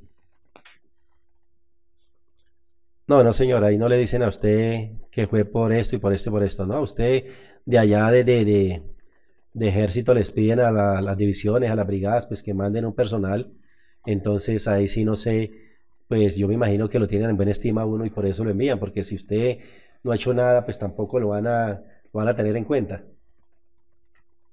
Bueno, an- antes de proceder eh, respecto de los hechos en que resultó ejecutado el eh, vamos a, darle la palabra a la señora procuradora delegada. Muchísimas gracias, señora magistrada. Eh, señor. El Ministerio Público, con fines de georreferenciación y con el fin de ilustrar eh, el contexto de los hechos que usted en este caso admite, eh, ¿podría recordarnos cuál era la jurisdicción de la Brigada Móvil 15, por favor? Eh, señora procuradora, eh, la brigada de la móvil 15, pues ca- casi era todo el catatumbo. Señora procuradora, eh, la jurisdicción de la brigada móvil 15, eh, pues tenía mucho sector del catatumbo, eso se lo puede directamente el comandante de la brigada móvil 15, que en ese entonces era mi coronel Herrera, él le puede concretar, porque pues el rango mío no da para tener acceso a toda esa información. Bueno, si era toda la zona del Catatumbo y usted hacía parte del batallón 98, eh, usted dice que el área del Tarra, el, área del Tarra era la sede del batallón 98. Sí, señora procuradora. Eh, el área de- del Tarra, la jurisdicción del Tarra, el municipio del Tarra, era el área del batallón 98. Pero como yo era de una, un- como una unidad especial, que sacaron un grupo especial que se llamaba Esparta, y estábamos en el municipio del Carmen, que eso está lejísimos, está como a casi hora y 10, hora y 20 en helicóptero. Entonces, por eso estamos al mando directo del, de la Brigada Móvil 15. Sí, igual es importante conocer toda la geografía para identificar todo lo que corresponde a la móvil 15. Bueno, entonces ya vamos que ustedes estaban en el municipio del Carmen. En punto de esa respuesta, el Ministerio Público tiene la siguiente inquietud. Usted dice que el señor eh, tenía, venía, siempre se, mm, las encomiendas y las comunicaciones con él eran con Ocaña. Usted eh, hizo esa, esa, afirmación. ¿Qué quedaba en Ocaña de la Móvil 15? ¿Qué funcionaba en Ocaña? ¿Un batallón, un pelotón, una escuadra, una compañía? ¿Qué tipo de, de, estructura funcionaba en Ocaña? ¿O a qué estructura estaba escrito? En Ocaña quedaba el comando de la Brigada Móvil 15 ahí se encuentra el coronel comandante de la Brigada Móvil 15, que son cuatro batallones. En, esa Brigada Móvil 15, pues hay un mando que era él, luego seguía, como dije anteriormente, eh, un, el, el, jefe de Estado Mayor, que es el encargado de pagar y víveres y todo lo que es logístico. Luego sigue las operaciones y sigue lo que es eh, el 2 de inteligencia, que era la que montaron la CIOCA pues él era un subalterno de la CIOCA, él no era ni comandante, por algo lo mandaron, inclusive él se encontraba en recuperación porque lo habían operado de, un pie, no sé, y él por eso, porque el ejército perder un teniente de grado teniente es para que tenga un pelotón, una compañía al mando en el área de combate, y él le, dieron esa, esa, esa misión de, ir allá a recoger inteligencia. Gracias. Entonces voy comprendiendo. Entonces el, la sede de la, del el comando de la móvil 15 quedaba en Ucaña. Eh, según lo que usted acaba de contestar. Ahora, eh, de cara también a otro tipo de afirmaciones que usted ha hecho, ¿nos podría contar cuáles eran los, grupos de influencia ya? O sea, cuáles eran, en los términos militares que ustedes utilizan, los enemigos en el sector, en el área del Catatumbo. Eh, no obstante, pues desde luego la competencia principal de usted en la Unidad Especial Esparta, pero ¿cuáles eran los grupos que ustedes debían enfrentar legalmente? En el Catatumbo, eh, pues la gente lo ve por noticias y todo, y pues yo sabía ya, porque pues uno, por ende, siendo militar, uno sabe, eh, allá se encontraba lo que era la FARC, el ELN, el EPL, eh, se encontraban Bacrin, que en ese entonces operaban o, delinquían, alias los mellizos por el plan del Cesar, y, y ya se estaban metiendo por y buscaron a meterse ahí por el, el Carmen Norte de Santander, eh, pues eso es lo que yo tengo conocimiento. Habían bastantes eh, actores de, de violencia por, por, ese lugar. De acuerdo a una de sus afirmaciones, usted alguna de esas zonas de la gran comprensión territorial de la Móvil 15, usted la, la, la, la, calificó como zona roja. ¿Quién calificaba y por qué estaba calificada como zona roja alguna de las áreas territoriales que usted menciona? Señora Procuradora, a nivel nacional, e inclusive yo creo que las entidades de la Fiscalía, eh, muchas entidades saben que el Catatumbo es zona roja. ¿Por qué? Porque es una, una zona que hay mucho narcotráfico, cultivos de coca. Entonces se lo viven peleando entre, los, entre las bandas criminales o la Bacrina ahora. Y en ese entonces estaban todavía eh, los mellizos, que eran dos hermanos que eran de eran paramilitares y narcotraficantes, no sé. Y está el LN, que entonces estaba alias Megateo, que era el EPL. Entonces es una zona roja, todo el mundo lo sabe, por noticia y por todo, porque es un, es, es un lugar donde hay mucha violencia. En punto ya del caso concreto de la víctima, usted refiere que para ese día, 8 de mayo de 2007, Usted fue el que quedó figurando en la misión táctica. ¿Usted recuerda eh, de manera específica qué contenía la orden de operaciones? O sea, podemos hacer la equivalencia entre misión táctica y orden de operaciones. ¿Y cuál era el contenido formal de la, de la orden de operaciones y cómo se llamaba? La orden de operaciones va incluida en la, en, en la misión táctica. Eso es, por ejemplo, las operaciones las hace una brigada móvil con sus batallones, pero como nosotros tenemos la mínima unidad, entonces se hacía una misión táctica. En la misión táctica iba y decía de que íbamos a buscar un enemigo que se encontraba, eh, no me acuerdo en ese momento la vereda donde, donde vivía el, el, el osiso o la víctima, eh, de que la información en la, o en la misión táctica decía que se encontraba, lado de arriba de la finca, se encontraba un grupo del ELN acampando. Esa fue lo que decía en la, en la misión táctica. En la misión táctica no decía que tocaba ir a, a dar de baja o neutralizar al... Entonces, como les expliqué a los señores magistrados, eh, durante todo este periodo que hemos estado hablando, lo que pasó, pero en la misión táctica en ningún momento decía que tocaba neutralizar o tocaba lo de baja. De acuerdo a eso, usted nos explicó que usted se retiró un poco y cuando hizo un pequeño retorno encontró que el cabo Gutiérrez, Néstor Guillermo Gutiérrez, ya había ultimado al... La pregunta es la siguiente, eh, señor. Una vez usted tiene la claridad sobre que el hecho ocurrido no es una baja en combate, de ahí para arriba, usted habla de arriba, ¿cuándo saben hacia arriba que se trató de una baja que no fue en combate, que la misión táctica corrigió otro rumbo? Eh, ¿Cuál es el momento en donde usted ya nos habló un acuerdo ahí como coetáneo al hecho, en el cual dicen vamos a decir que esto es fue en combate? Pero en punto de escalar hacia arriba, ¿en qué momento se reporta que eso no fue un combate? ¿Qué se supo y cuál fue el proceder hacia arriba respecto al comportamiento de ustedes? Señora Procuradora, en el momento que se reporta como una baja en combate, eh, pues en la brigada móvil allá, pues de pronto, si el coronel sabía, porque si el cabo me dice ya tengo órdenes explícitas de hacer pasar esto como una como un combate de encuentro con el LN, pues yo imagino que allá, pero en toda, en toda la gente no iba a saber lo que estaba pasando.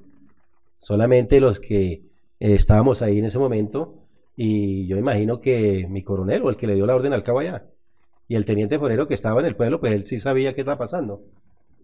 ¿Cuándo se precipitan las acciones judiciales contra ustedes? Es decir, eh, al día siguiente, tantos días después, ¿cuándo se precipita una acción, ya sea de justicia penal militar o de fiscalía, en relación con ese hecho concreto? ¿Cuánto tiempo después en relación con el hecho?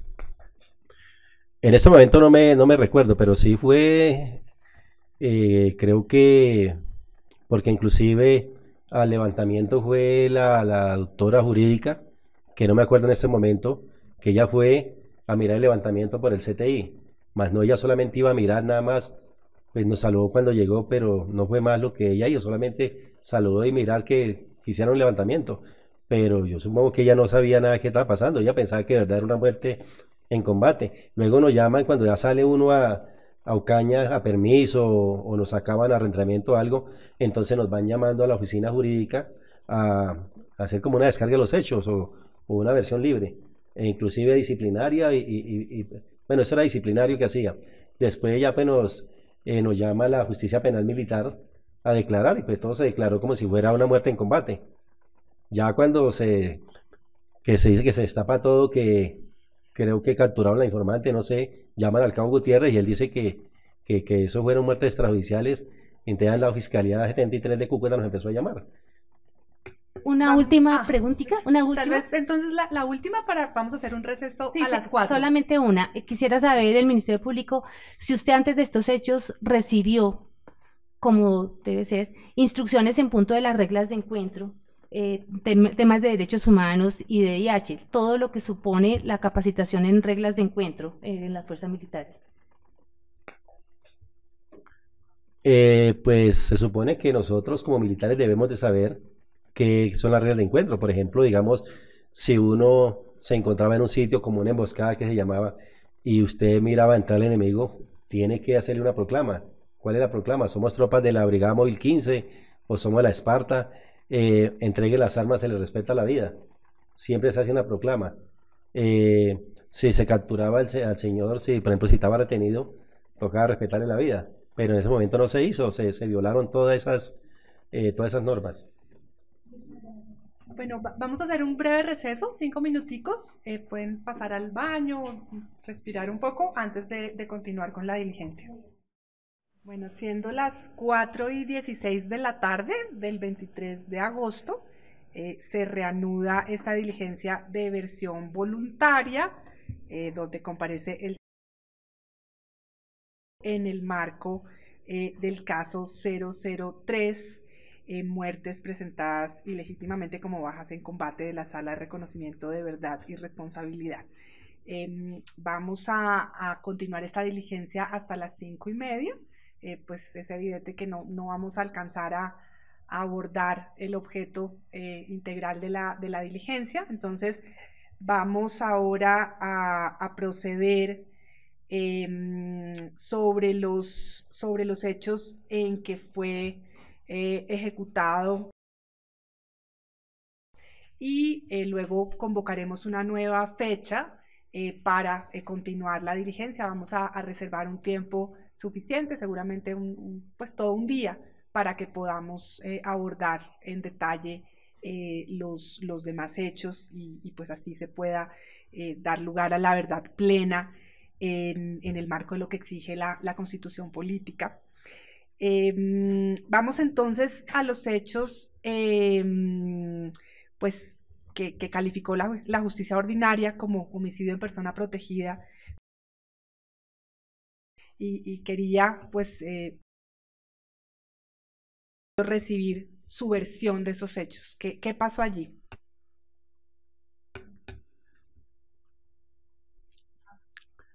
Solo, solo para que conste eh, en el registro, eh, el doctor Alejandro Ramelli eh, tuvo que retirarse para atender un, otro compromiso ineludible.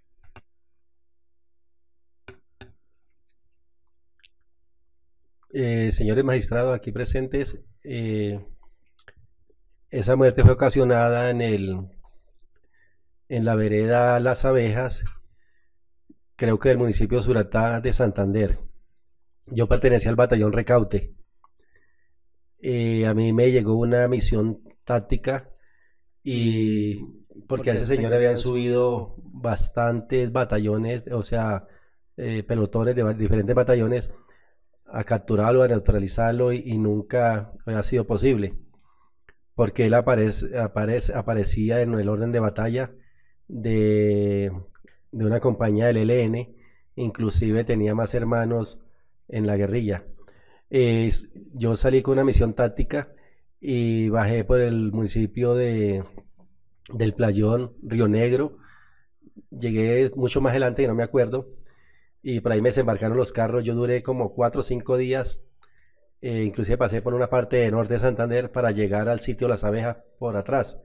Porque si pasábamos por el frente, pues se iban a dar cuenta. La información era que yo iba con, yo llevaba de guía el hijo de una señora que vivía ahí en el lugar de los hechos. ¿Por qué? Porque la señora tenía unas ovejas de esas lanudas blancas y el señor que le iba a cobrar 300 mil pesos. Porque todo el mundo en esa jurisdicción le tenía miedo a él porque sabían que él era eh, un miembro de, del ELN.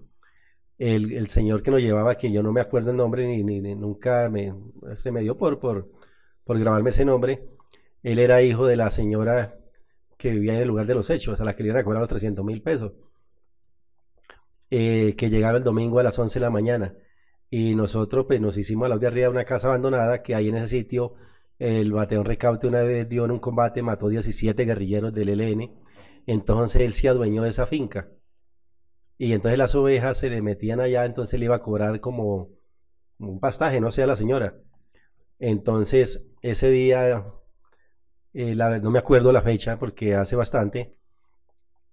Eh, efectivamente, a las 11 de la mañana llegó el señor en un caballo blanco y lo amarró en esa casa abandonada. Y nosotros salimos y él no salió corriendo ni nada. Él se, asustó cuando nos vio y, yo le somos tropas del batón recaute. Eh, me permitan sus documentos.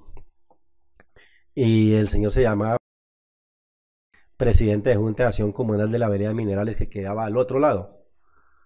En ese momento los soldados me presionan a mí primero, vamos a matarlo, vamos a matarlo. Le dije, no lo vamos a matar. Yo le dije, la misión mía era retenerlo, capturarlo. Le dije, no, mi primero, si usted no hace si nos toca matarlo, usted también lo matamos. Yo le dije, pues máteme, hermano, pero eh, eh, ese señor no se va a matar. Entonces yo le dije, bueno, me voy a ir a reportar. Había un cabo primero que en ese momento no me sé sino el apellido, que es Castro. Le dije, Castro, que es dependiente aquí con los soldados y con el señor. Cuide el señor porque el señor lo vamos a reportar al batallón vivo y me fui yo como 200 metros a la parte más arriba donde estaba el resto de pelotón Y cuando iba llegando al pelotón, sonaron una cantidad de disparos. Cogí el radio y me volví con el soldado operador y al señor lo habían matado y lo colocaron en el borde de la, de la casa abandonada. Y cuando llegué le dije yo, bueno, ¿y ahora qué? ¿Cómo vamos a reportarlo?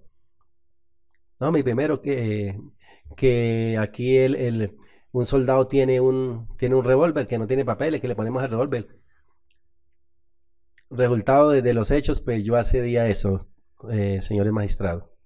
Yo accedí que se presentara eso como un combate de encuentro por miedo de verdad, por preservar mi vida. Entonces, eh, reportamos un combate, un combate, que, un combate que el señor había llegado y que, eh, eh, había sacado unas caletas de un poco de material viejo que había, que los soldados después lo encontraron y que le habíamos dicho,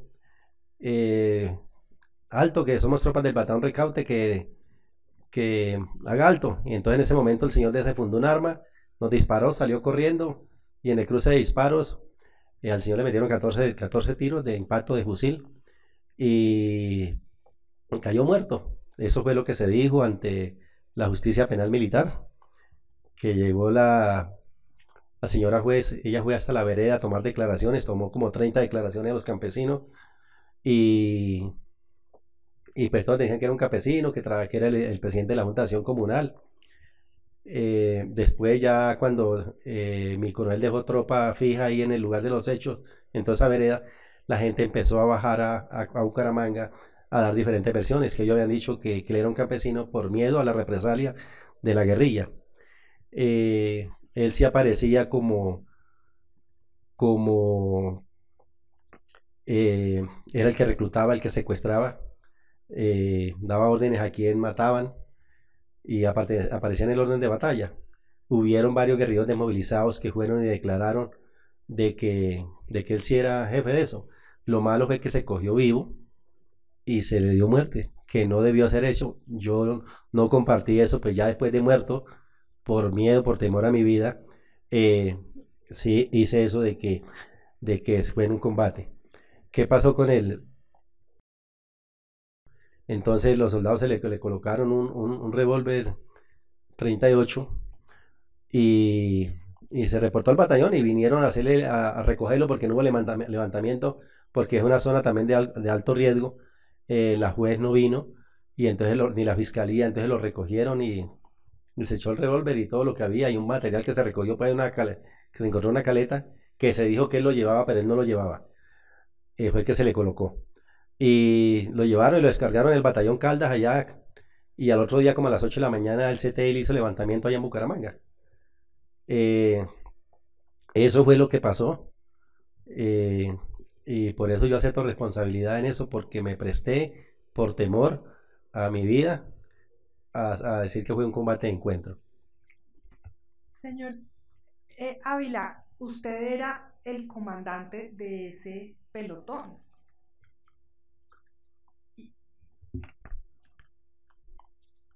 Sí, señora, yo era el comandante de pelotón.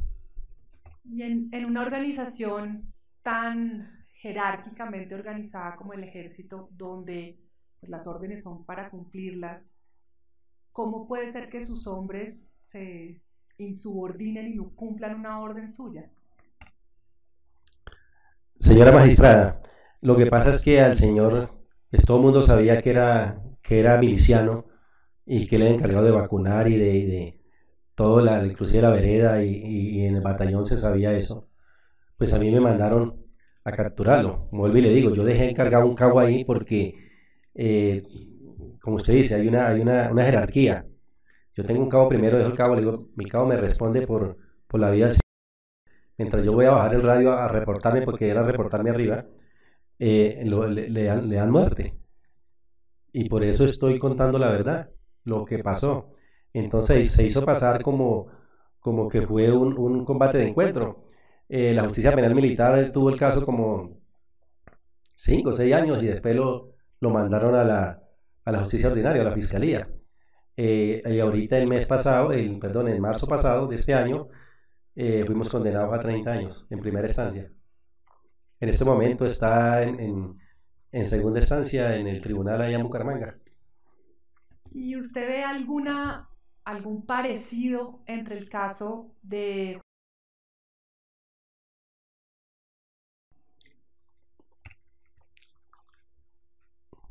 Pues sí hay bastante similitud, pero como le digo, eso pasó en el 2003, 2004, pasó en Bucaramanga y sí lo hice por, por temor de mi vida, eh, porque los soldados me amenazaron y primero, si, si toca matarlo, lo matamos. Y los soldados lo saben y creo que si van a decir la verdad, porque ellos se están postulando a la JEP, no están privados de la libertad, ni nunca tuvieron, eh, pero esa fue la verdad. Entonces, por eso estoy aquí, señora magistrada, diciendo lo que pasó. Sí, solo para aclarar un poco lo que nos está contando. A ver, para, para tratar de entender cómo ocurre este hecho en el que los soldados no, no siguen esta orden suya, al igual que en el otro caso, pues eh, también nos mencionaba que, eh, no había sido, pues, por, no se había respetado, pues, su, su mando. Pero entonces, eso venía ocurriendo otras veces con este mismo pelotón de soldados y cabo primeros, o sea, ya, o fue de la nada, ellos dijeron, eh, hay que matar a esta persona. Señor magistrado, eso, eso fue de la nada, ¿por qué? Porque que nosotros duramos cuatro, cinco días, ocho días dando, haciendo como una infiltración para llegar al lugar de los hechos.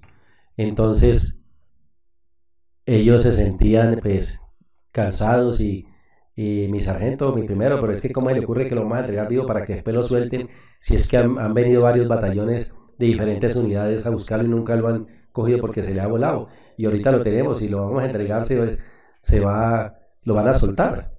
Porque primero que todo era presidente de Junta de Acción Comunal. Y la vereda, por, por miedo, lo iban a, lo, iban a hablar en bien por él. Pues eso es lo que decían los soldados. Pero ya después de, de, de que lo habían matado, porque es que yo dejé un cabo primero, que un cabo primero pasó primero por cabo segundo, después por cabo primero. Yo le dije, me responde por la vida de, del, del, del muchacho. Es más, ese, ese, ese cabo no está metido en ningún proceso. ¿Por qué? Porque el cabo no da ni para adelante ni para atrás para hablar en, en lo jurídico, ¿no? Porque afuera, pues él habla normal y todo, sino que eh, lo que es los nervios y todo, entonces tomó la determinación que solamente caballo como comandante directo ahí y seis soldados, que son los que, los que están en el proceso. Pero no tiene nada que ver, porque eso fue en el 2000, eso fue en el 2000, 2004 y lo de la brigada móvil ya fue en el 2000, 2007, muy diferente. Ninguna persona, lo único que estaba era yo.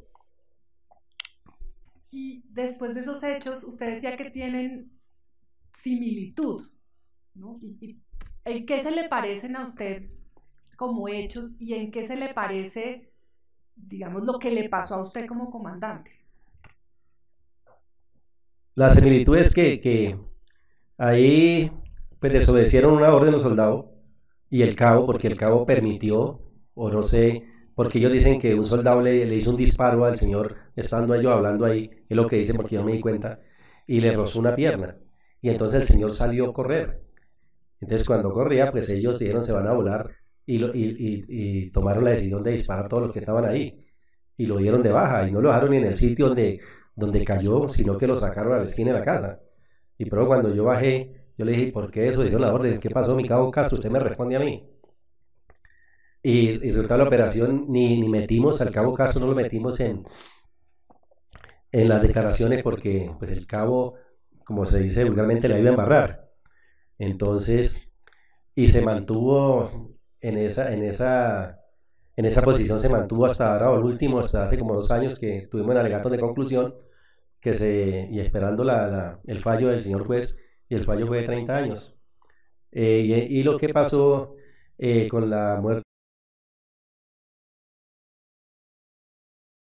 Ahí fue que el cabo bajó y no esperó ni preguntó ni nada, sino que de una vez lo mató. Esa, esa es la similitud que le, que le digo yo ahí, pero en la, en la muerte ninguno me amenazó ni nada, sino que ya estaba la muerte dada y el cabo dijo, no, mi primero hay que reportarlo como una muerte en combate porque ya tenemos órdenes. Y la orden que daba el teniente Forero abajo por radio también que tocaba reportarlo como una muerte en combate.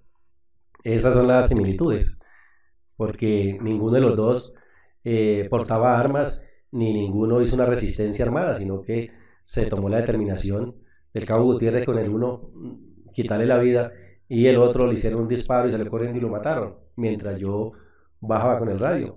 Pero cuando yo fui a declarar a Bucaramanga que yo me encontraba privado de la libertad, le dije, ¿y ahora qué van a hacer mis soldados? Se les levantó el muerto, ¿no? No me amenazaron ese día, ahora ténganse a las consecuencias. ¿Cómo es el nombre completo del, del cabo primero? ¿Es apellido Castro? De apellido Castro. ¿Y el nombre? Eh, para la cámara.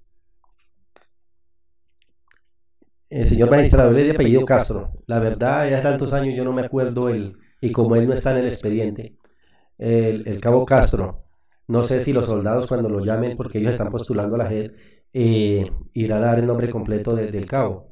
El cabo ya lo retiraron de las fuerzas militares, el sargento, pero porque lo retiraron de sargento. ¿Y usted recibió alguna felicitación por esos hechos?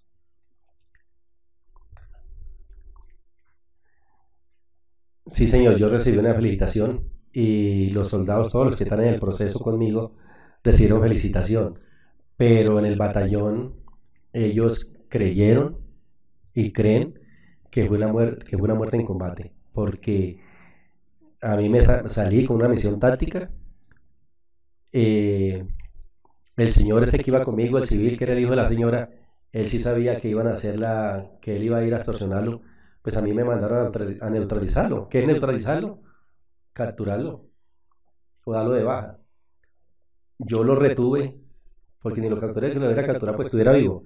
Lo retuve y mientras fui, y dejé un cabo encargado con un cabo primero, que me seguía al mando, lo dejo encargado y voy a reportarme. Y mientras voy a reportarme, ellos toman la decisión de, de- de quitarle la vida al señor. E- Esa, es- esa fue mi participación ahí y por eso yo eh, pues acepto mi responsabilidad en la muerte del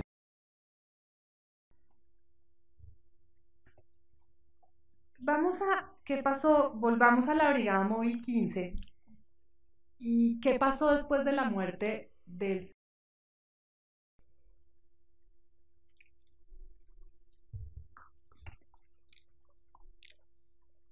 Después de la muerte del señor, pues el día 9 vino el CTI y le hicieron el levantamiento y, y- y se lo llevaron.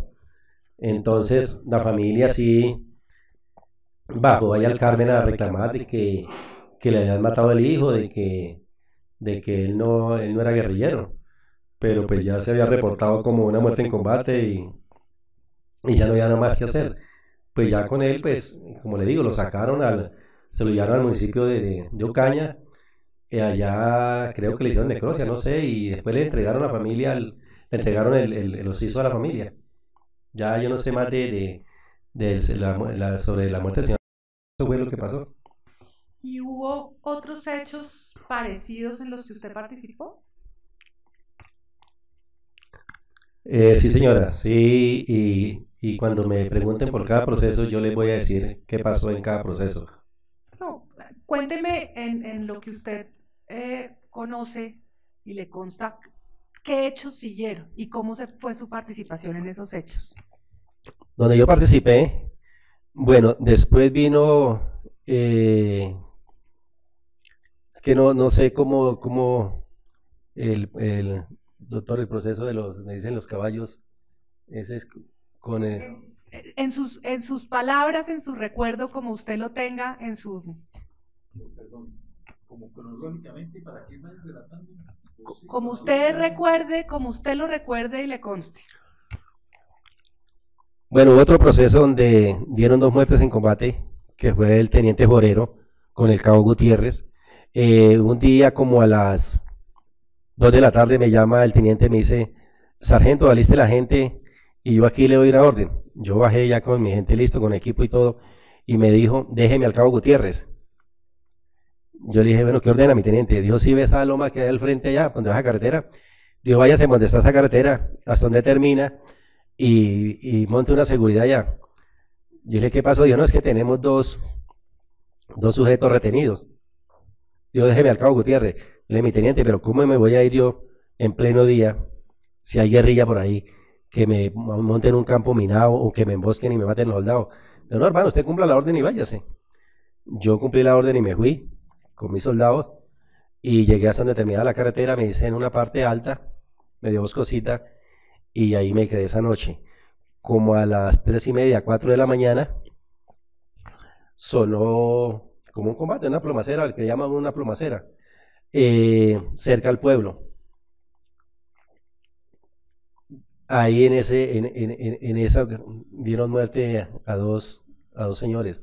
Eran guerrilleros, no eran guerrilleros, no me constan porque yo no los vi, ni vivos ni muertos. Cuando yo bajé en las horas de la tarde, ya el CTI o no sé, la fiscalía había ido y habían hecho el levantamiento y se los habían llevado para Ocaña. Pero yo sí supe que, que ellos habían, le habían quitado la vida a esos dos muchachos.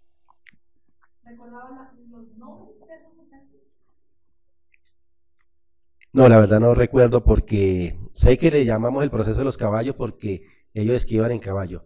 Y eso fue cerca, eso fue como el, no sé si fue el 18 de junio del 2007, algo así, fue así. ¿Y, ¿Y cuál es el asunto con los caballos?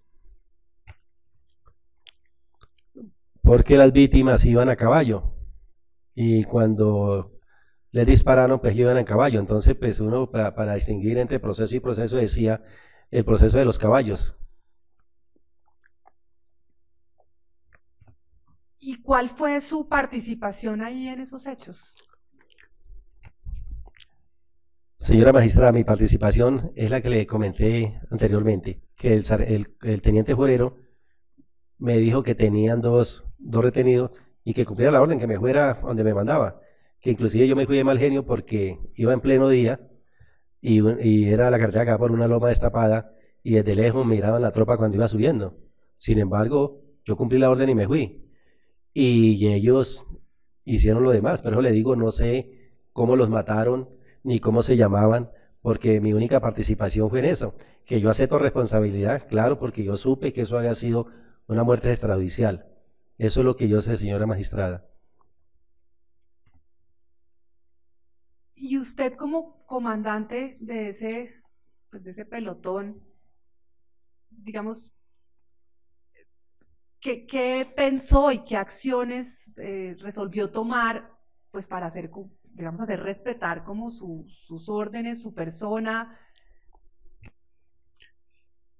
Señora magistrada, en ese momento yo estaba bajo el mando del teniente Forero, que él era teniente, el oficial es, eh, si algún día sabe usted o ya sabe, eh, el ejército, pues, más que todo lo manejan los oficiales y los oficiales somos subalternos. Así seamos sargento primero, seamos sargento mayores, somos subalternos de los oficiales. Así sea un oficial recién salido de la escuela yo sea sargento primero, tengo que obedecer órdenes del, oficial. Entonces, el teniente era el comandante del pelotón, que el pelotón se dividía en dos Esparta, Esparta 1 y Esparta 2. Entonces me dijo, arranque con la Esparta, pero déjeme al, déjeme al, al cabo Gutiérrez. Y pues lo que se dice que ellos cometieron el, el, ilícito ahí, o la muerte extrajudicial con los dos señores, y lo que yo sí, mi participación fue haber subido hasta donde se terminaba la carretera, pero nunca disparado, ni disparé, ni, ni vi, lo, ni lo vi los señores, los vi vivos ni muertos. Bueno, yo acepto responsabilidad porque supe que había sido una muerte extrajudicial. En eh, este proceso de los caballos, eh, ¿dónde ¿Dónde fue? ¿Qué municipio qué vereda? Los hechos.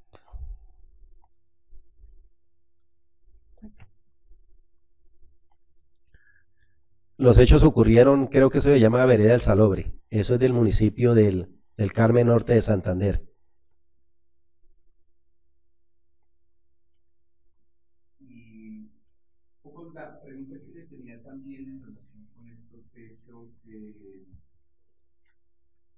Perdón, le tenía una pregunta respecto a cómo operaba el encubrimiento. Es decir, usted nos dice no participé en la, en la, eh, no disparé.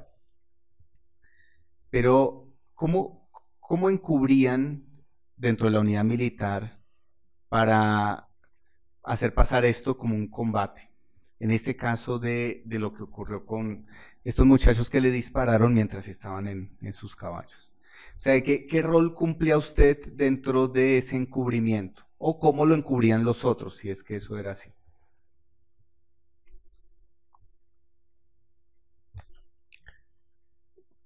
Eh, señor magistrado, como le digo, yo era subalterno del teniente Forero. Eh, lo que estaba pasando en ese momento, hasta que yo cogí el mando del pelotón, eh, que fue hasta el mes de agosto, pues yo era subalterno del teniente Forero, y pues sí, la, pues todos los que estábamos en, en ese pelotón, oficiales y suboficiales y soldados, pues sabíamos lo que estaba pasando. Pues que todo el mundo pues eh, hacía silencio, pues no sé, pues ya se han pasado las cosas, se pasó lo primero, pues, digamos con el señor, pues ya todo el mundo determinó de, de, de, de hacer silencio y, y pues cada quien participaba cuando le tocaba, pero pues eso es lo que pasó. Y en, en el caso que usted refiere como el de los caballos, si usted, digamos, se fue lejos, ¿cómo sabía que las víctimas iban a caballo? Porque los mismos soldados dijeron de que iban a caballo y cuando yo bajé por el lugar donde dieron, dieron las bajas, ahí estaba, había un caballo muerto y estaba la sangre y todo así, digamos, como, cuando vean un partido de fútbol que está pisada, ración en la tierra y todo, estaba así, estaba con sangre y había un caballo muerto. Y en ese caso también hubo eh, consecución de armas que se usaron para hacer pasar las muertes como bajas en combate. Señora magistrada, ahí no, no sé porque yo la verdad no estuve en el lugar de los hechos y no sé qué armas le colocaron. Sí le colocaron armas que, que porque para poderlo hacer pasar por, por muerto en combate, le colocaron armas, pero no sé ni quién dio la orden, ni eso sí, lo que sé fue que lo hizo el teniente forero Medina Carlos con el cabo Gutiérrez y yo sé que en el momento de, de que, porque ellos se postularon que lleguen aquí, a donde estoy yo, pues ellos van a aclarar quién le dio la orden, por qué tomaron la determinación de hacerlo y qué armas le colocaron. Usted nos decía a- ahorita que esto empezó a volverse, digamos, como que se sabía que estaba pasando y que cuando al que le tocaba, pues le tocaba. ¿Qué, qué se decía entre los, eh, digamos, los, los soldados, los suboficiales, los oficiales? ¿Se hablaba sobre lo que estaba pasando? ¿Qué se decía? ¿Qué, pensaba usted de lo que estaba pasando? Eh, señora magistrada, eh, casi no se comentaba nada ahí, de todo el mundo sabía lo que estaba pasando y de pronto era como ya algo normal, o sea, nadie comentaba nada de que mire, que, que a este señor lo mataron así, que a este lo mataron así. Lo único que se sabía era que eran milicianos, que eran milicianos, sí, pues fueran milicianos o no fueran milicianos, eh, pues el deber de todos nosotros debería pues entregarlos a la, a la autoridad competente, que es la fiscalía, y pues ya ellos determinarían si los dejaban detenidos o no, pero no quitarles la vida, pues eso fue lo que, lo, lo que, lo que pasó. Pero ¿y cómo sabían que eran milicianos? Porque la población civil en el municipio, la gente comentaba de que ellos eran los que extorsionaban, ellos eran los que vacunaban el pueblo. Por eso el pueblo, después de los dos meses, el pueblo estaba, la, la población civil y el pueblo estaban contentos con, con, el ejército porque dejaron de, de, molestarlos, ya podían salir a la ciudad de Ocaña por la carretera y no había peligro que salieran a un retén y robarlos y matarlos y ni, en el municipio. Entonces, por eso fue que el Cabo Gutiérrez, esa fue la famosa lista, pero en ningún momento llegó ninguna lista de ningún comandante, sino que el Cabo fue armando su propia lista. Y pues había un informante que después de, de- del mes de junio, eh, ella tenía, ella, el Cabo Gutiérrez, y creo que mi coronel Rincón eran los que tenían la información y todo, y, y tomaban la determinación, bueno, pues hay un miliciano así, pues vamos a hacer una misión táctica y, y, y se da de baja ese señor. ¿Usted tenía la, la sensación en ese momento que estaba bien lo que estaba pasando? ¿Alguien les hacía sentir que eso estaba bien, que era, que era aceptado? Eh, señora magistrada, pues sí, porque el pueblo decía, bueno, pues ya nos quitaron un problema, ya dieron de baja a, a alias, digamos, Moncholo, por decir algo, porque él también cayó por ahí. Eh, y era de milicianos, porque pues el pueblo decían que eran milicianos y ya el pueblo ya dejó de, de, de- que lo extorsionara y todo, pues uno decía, bueno, pues no murió una persona eh, inocente, pero pues sí se le quitó la vida a una persona eh, desarmada, eh, violando pues muchas normas de, de derecho humano. ¿Usted sigue, digamos, con la convicción de que esas personas eran milicianos? No, señora, eh, yo el único que sí sé que, que era miliciana porque estaba en una misión, eh, estaba en, en- en el, el orden de batalla, que es lo que tienen los batallones, porque los batallones, digamos, eh, la guerrilla, digamos, del batallón Recaute en Bucaramanga, por tal sector delinque tal frente del ELN, por tal sector delinque tal frente de la, de las FARC, y saben más o menos cuántos bandidos tiene cada cuadrilla y qué armas tienen por los informantes que se por los guerrilleros que se han ido movilizando y van dando la información, dan el nombre de comandante y todo, y por eso se organiza un orden de batalla. Los que pasó en Carmen Norte de Santander, lo que estoy hablando ahorita, eh, pues uno eh, pues creía por lo que decía la gente, pero no aparecía en, orden, en un orden de batalla. Yo le estoy diciendo que eran milicianos, pero pues no les puedo confirmar que, que hayan sido no hayan sido milicianos, pues sí, se les quitó la vida sin, no se le, no se les respetó, no se les respetó el derecho a la vida porque estaban desarmados. Y dentro de la institución, ¿usted sentía que eso estaba bien visto, que eso era aceptado, que eso era lo que se creía que debían hacer? Pues no, es que, no era que yo creyera que, que se debía hacer, sino que pues si ya eran órdenes que habían, que ya tenían eh, todo organizado, pues ¿qué tenía que hacer yo? Porque es que yo tampoco puedo, hasta ahora que salió lo de la justicia especial para la paz, que nos puede beneficiar a muchos, eh, mucha gente ha guardado muchos secretos, muchas cosas de, operaciones, ¿por qué? Por miedo a que de pronto le quiten la vida a uno, porque es que son personas armadas y, y uno cuando uno sale fuera del batallón, si uno se pone por decir algo, eh, si yo hubiera dicho que, que el solda- que el señor de allá de Bucaramanga, que los soldados lo habían matado así, así, así, eh, los soldados no me hubieran podido matar ahí, pero afuera sí me hubieran podido matar. Entonces, muchos soldados, mucho oficial, mucho oficial de pronto de, de bajo, de bajo rango, de una forma u otra teme por su vida. Entonces, pues si ya pasó, pues tiene que uno quedarse callado. Solo Para precisar algunas cosas que nos ha dicho. Mencionó usted a, era y, a- y al, eh, al cabo Gutiérrez y al coronel Rincón. O sea, usted men- estaba mencionando que ellos manejaban una lista, los tres.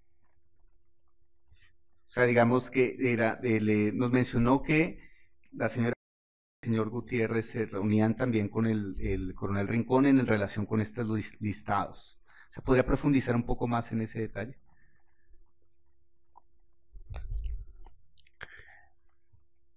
Señor magistrado, eh, después del mes de, mayo, como en junio, que el, cabo Gutiérrez tomó contacto con esta señora, eh, pues el cabo decía que, que no, pues que, que él hablaba con el coronel Rincón y con...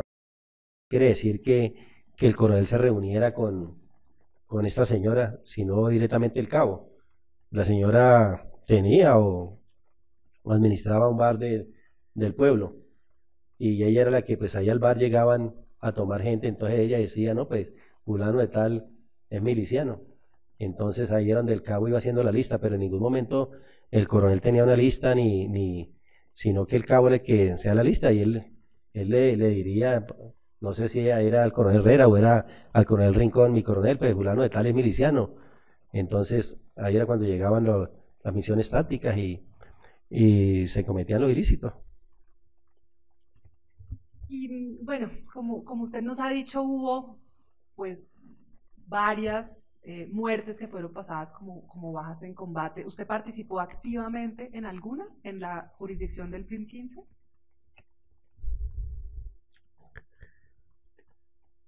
Eh, señora magistrada, yo aquí le estoy diciendo la verdad porque si yo omito algo, yo sé que me voy a perjudicar. Eh, como yo le digo, por ejemplo, en la muerte de... Yo llegué hasta el sitio eh, repartí la gente por la seguridad de cada quien, porque en la misión táctica decía de que había un grupo guerrillero. A las 6 de la mañana mandé al cabo Torralbo de que hicieron registro y se quedó. Y cuando se fue cuando reconocieron al, al- y cuando el cabo Gutiérrez bajó y, y- lo dio de baja. Pero en ningún momento yo tuve en el lugar de los hechos que, que dijera, que dijera disparé o que vi cuando cayó. No, en ninguna de las, de las muertes eh, estuve ahí en, en el lugar de los hechos, ahí donde dispararon. No, señora.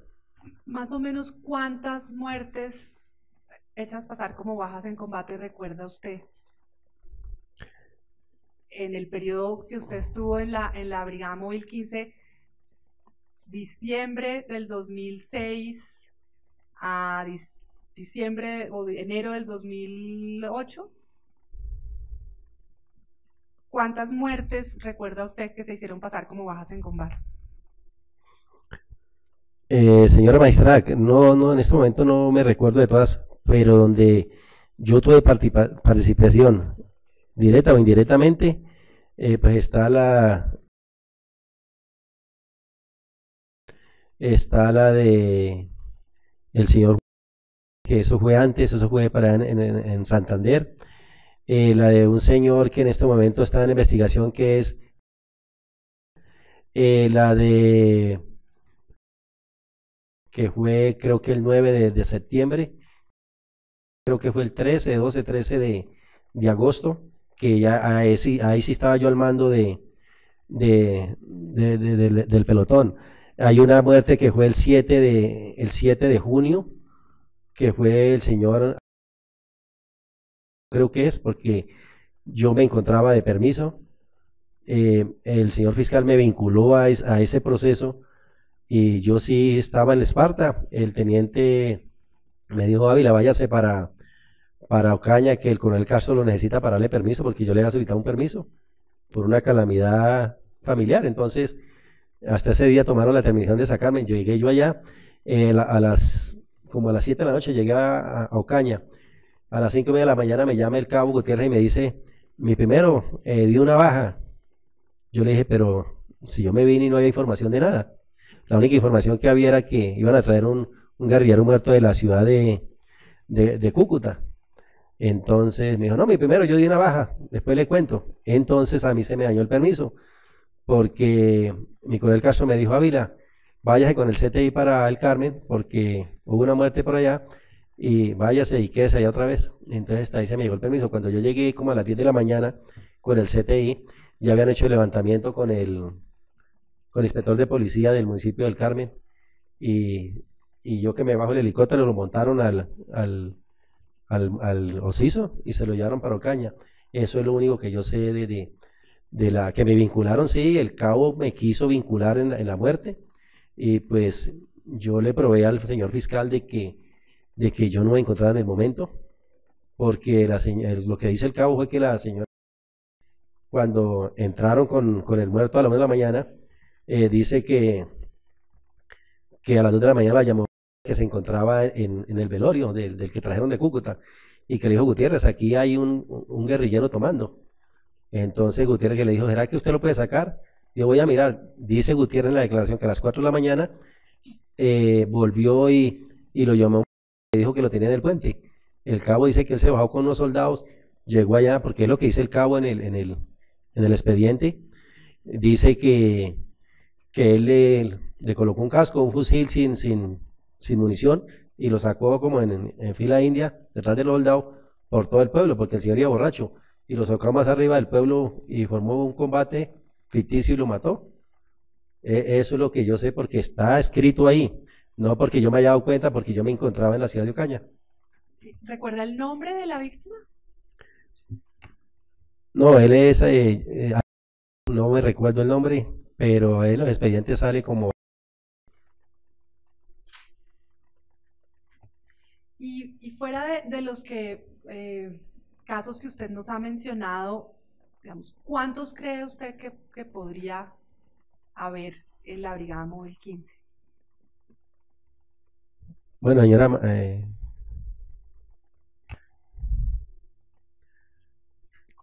eh, señora magistrada, eh, lo que le comenté, pues yo estuve participé directo o indirectamente en la de en la de en la de y la de los caballos porque fui hasta el hasta donde terminaba la carretera. Pero pues hay otra muerte que fue saliendo del, del que fue la primera del municipio del Carmen, saliendo hacia Guamalito en un sitio que llaman el basurero, que eso fue el Cabo Gutiérrez con el Teniente Río, no sé qué pasó, porque apenas yo escuché que le decía, hablaba el teniente con el sargento y después le mandó al Cabo Gutiérrez. Eh, a mí me dijo el, el- me dijo el, el teniente que me subiera a un sitio alto donde deja el helipuerto. Y sonó un combate por ahí bien abajo de, de- del basurero y ahí dieron donde baja un señor, no sé cómo se llama porque pues, ni me quise enterar de eso, sí, fue que, sí sé que fue una muerte extrajudicial. Y otra fue... eh, ¿Cuándo sería esa última a la que usted se refirió?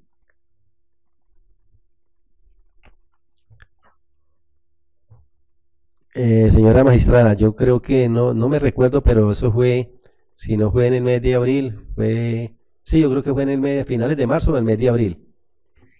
Es decir, sería la primera de este tipo de muertes eh, que usted conoció cuando llegó a la Brigada Móvil 15 o hubo otra anterior a esa.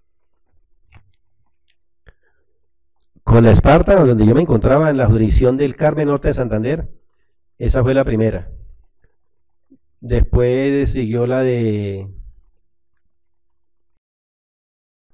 Después siguió la de... Después siguió, creo que la de los caballos. Ya después siguió la de... Que ya yo me encontraba de comandante pelotón. Y, y siguió la de... La de... Que fue eh, como el 9 de septiembre. Hubo una, hubo otra que, que tuvo el teniente Forero con el sargento Ríos y el cabo Hernández, que eso fue en un sitio que le llaman Tierra Azul, eh, entre el Carmen, Vía Ocaña, que yo aparezco ahí, pero yo me encontraba abajo de, del Carmen, en un sector que llama Guamalito, me encontraba a 9 kilómetros, y esa muerte la dieron del Carmen 8 kilómetros arriba yendo hacia Ocaña. donde Yo me encontraba en una distancia de 17 kilómetros y ni sabía que habían dado esa muerte. Entonces, para, para que vayamos en un, en un orden cronológico, em, hablemos un poco más de, de la primera, de, de la primera que usted se refirió en abril. Cuéntenme un poco más, cuéntenos un poco más qué pasó, usted, qué le consta de esos hechos, qué fue exactamente lo que pasó. Señora magistrada, a mí la verdad no me, no me cuesta nada ahí. Eh, yo acepto responsabilidad porque supe que iba a ser una muerte extrajudicial y no denuncié, pero no participé. Como le digo, el, el teniente me dijo que me hicieran en el helipuerto. Yo me fui para allá con unos soldados y, y dispararon abajo. Entonces yo dije, ¿qué pasó? No, entonces fue que dijeron, no, que habían dado una baja. Pero en sí fue una muerte extrajudicial, pero ni sé cómo se llama, ni vi, ni fui, ni me di, ni me quise enterar más. Eh, ellos le darán eh, la versión cuando, cuando se presenten acá el, el, tene- el teniente Borero con el sargento Ríos y el cabo Gutiérrez. El cabo Gutiérrez sí estaba casi en todas. En la de Tierra Azul, el cabo no, no se encontraba ahí. Y él dijo, él dijo que él había estado viendo que yo lo tenía haciendo retén abajo en Guamalito ese día. Le dije, Gutiérrez, ¿por qué no bajan carros? Dijo, no, mi primero es que hubo un combate y era una muerte arriba en Tierra Azul. Y ante la justicia penal militar, o no sé, él acepta responsabilidad de eso, de que él estuvo ahí si yo lo tenía haciendo retén. Entonces, eh, señora magistrada, yo acepto mi responsabilidad en todos estos procesos que me meten ahí porque yo quiero, yo tengo una familia, yo quiero salir libre de todo esto. Y pues para eso se creó la JED, para que uno diga la verdad más que la verdad. Yo digo la verdad hasta donde yo sé que vi, pero hay, hay procesos que no sé que, que, que fueron muertes tradicionales porque están en, en investigación y me, y me vincularon a esas muertes eh, sin, sin haber estado. Y, pero entonces uno sí escuchó que, que era muerte extrajudicial, pero el teniente ahí en, en su momento, o la de Tierra Azul, él contará sus hechos. Sí, es decir, a usted nunca le dieron una orden directa de ejecutar personas. No, señor magistrado, a mí no me dieron una orden directa porque para eso tenían el cabo. A mí me decían, deje salir el cabo o vaya con el cabo. Y el cabo ya tenía, eh, pues, como todo montado. Pero ahí el, el, el decía el cabo Gutiérrez, eh, que nosotros de una forma u otra como comandante o, reemplazante pelotón, que era yo, pues uno sabía lo que estaba pasando y, y de una forma u otra pues se prestó porque pues no denunció o, o, o no impidió que se hiciera eso. Entonces, por eso yo estoy pues eh, aceptando mi responsabilidad en todos estos procesos.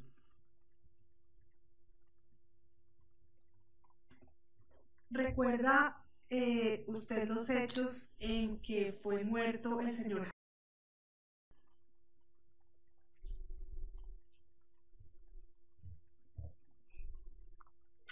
Eh, señora magistrada, no en este momento no sé si de pronto usted me dijera en qué fecha o algo, porque yo no, no, no se me hace conocido el nombre del señor. En 30 de junio de 2007 en el Carmen. Entonces será, será el señor el que le dicen Alia Mocholo. Si fue el señor. Ah, no, no, ese no, porque ese fue el 7 de, de julio. No, no, señor, no sé. No, no, la verdad no sé. Creo que eso fue con otro, con otro pelotón. Nosotros nos encontramos en la fecha, nos encontramos de permiso. Si me permiten dos segundos. Voy a, vamos a...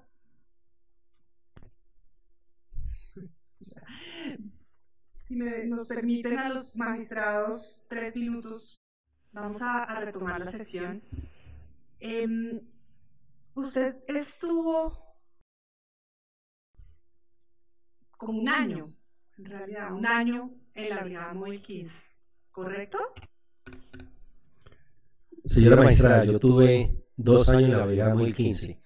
Nosotros llegamos a finales del 2005 al pueblo de Nilo, que era una escuela de entrenamiento, a conocer los soldados que iban a conformar una Brigada Móvil 15. De ahí nos dieron permiso a los soldados y a, todos, a, los, comandantes, y, y, toda la Brigada Móvil se reunió en el Juncal, es un corregimiento de la ciudad de Aguachica, Cesar. Y de ahí el batallón 98 que estaba bajo el mando del mayor Terán, lo mandaron para la serranía, bueno, es el límite con Venezuela, de, de Valledupar hacia arriba, porque iban a conformar un batallón de alta montaña y nos mandaron allá. Allá duramos por un lazo de seis meses. No hubieron combate, no hubieron captura, no hubo nada. Y los otros, el resto, los otros tres batallones mandaron, creo que para el sur de Bolívar, y los otros los mandaron para Catatumbo. Eso lo puede aclarar el señor comandante de la Brigada Móvil cuando él compadezca acá. En, en, el municipio del Carmen, entonces, ¿usted cuánto tiempo estuvo? En el municipio del Carmen sí eh, tuvimos aproximadamente unos nueve meses, porque nosotros llegamos, si no estoy mal, en marzo, a finales de marzo, y hasta el 8 de diciembre que yo salí, se quedó la Esparta ya con otro comandante, eh, que no, no, no, me recuerdo quién fue el que, el que mandaron para allá porque yo salí a hacer papeles para irme para el cine. ¿Y mm, usted por qué cree que estos hechos de muertes presentadas como bajas en combate se, se, empezaron a dar? O sea, ¿en qué momento se empezó a dar esto y por qué? Señora magistrada, pues la verdad no tengo cómo, cómo responderle, porque pues como le dije yo, la primera muerte que dieron fue en un sitio que le llaman el basurero, llegando a o saliendo de, del Carmen Norte de Santander vía Guamalito, que eso fue el sargento Ríos con el, con el cabo Gutiérrez y el teniente Morero. Que yo sí tengo participación porque supe que eso había sido una muerte extrajudicial, mas nunca fui, no manejé nada porque yo estaba bajo, bajo el mando del teniente y el teniente me mandó a una parte alta donde caía el helicóptero. No fue, esa fue mi participación. Entonces, pues yo me considero responsable por eso, por no haber denunciado, porque en ese momento el mando lo tenía el teniente Moreno. Pero esto es más una pregunta de su opinión. En su opinión, ¿por qué pasó? ¿Por qué se dieron esas muertes? Señora maestra, pues en mi opinión, creo por lo que le venía pasando al municipio, porque el municipio se encontraba amarrado o secuestrado ahí porque ni la alcaldesa podía salir a Ocaña porque les daba miedo que le salieran por la carretera y los extorsionaban de una forma u otra. Y, y pues la gente decía que eran milicianos, que habían, sido de, del ELN, que han sido eh, paramilitares. Y allá pues todo lo que se decía era que, que todos que, que, que habían matado habían sido milicianos. Entonces, pues yo creo que por eso fue que, que, que se tomó la determinación como, como rescatar el pueblo de, de, tanta extorsión, tanta amenaza.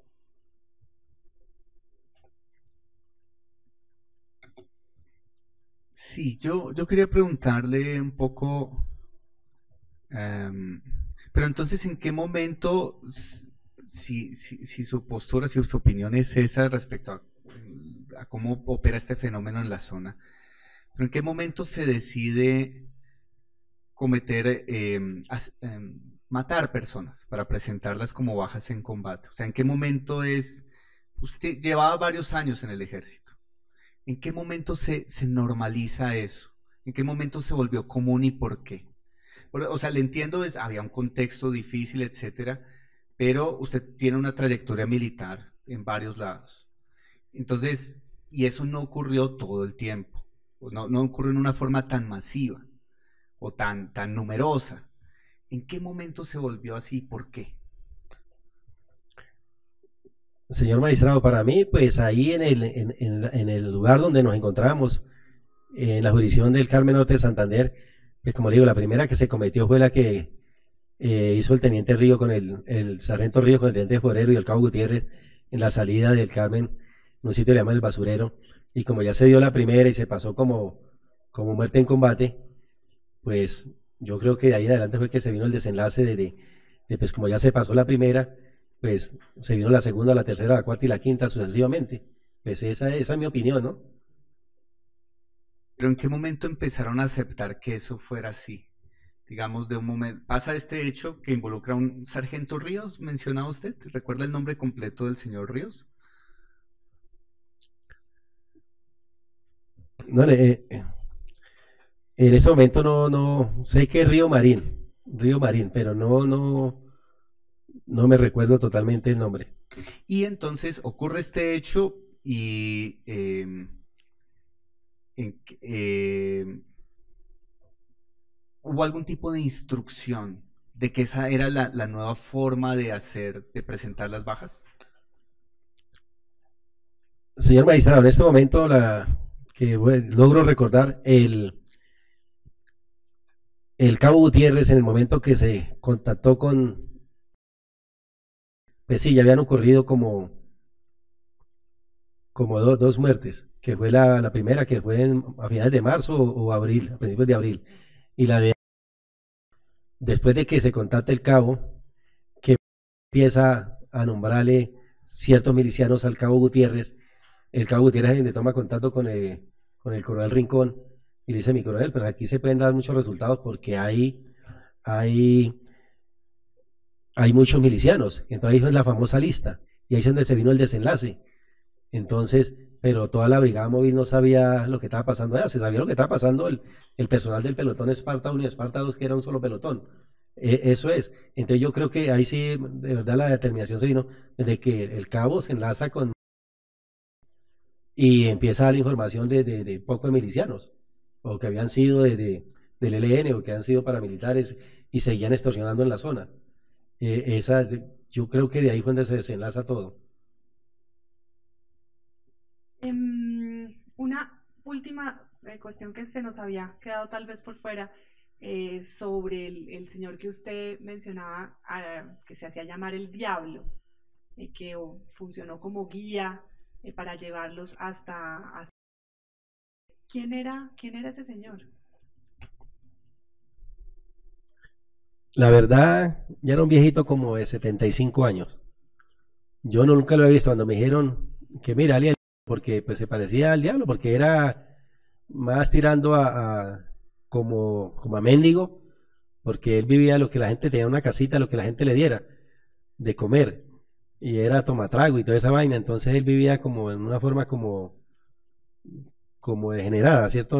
Su forma de vida. Entonces, pues, él siendo de la región, él, él, él sabía, entonces le pues, yo imagino que le preguntaron que si conocía el sitio, entonces él se ofreció a llevarnos allá, pero un señor que, que solamente nos vio ese día hasta ese sitio, y el señor, eh, pues salimos nosotros de la, de la jurisdicción esa y ya salimos para otras unidades, y el señor dice que se murió, se murió ya de viejo, yo creo. Pero él se les ofreció a, digamos, a la unidad como guía eh, o, o, lo buscaron de alguna manera o tenía alguna función formal. Señora magistrada, en este momento yo no me acuerdo si el cabo Gutiérrez lo ubicó o el teniente Ferro lo ubicó. Lo único que sé es que me entregaron al señor como guía para que me llevara hasta la finca donde vivía. Él llegó como unos 200 metros más abajo, dijo yo de ahí para arriba no subo porque yo sé que la guerrilla está ahí. Entonces él se devolvió.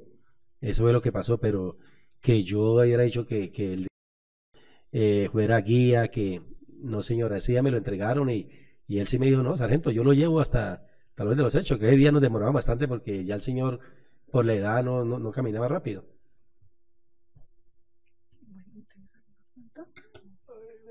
Este señor era de la red de cooperantes o usted no lo sabe? No, no señor, no, no, no lo sé. ¿Y usted cree que él recibía algún pago por estas indicaciones que les hacía?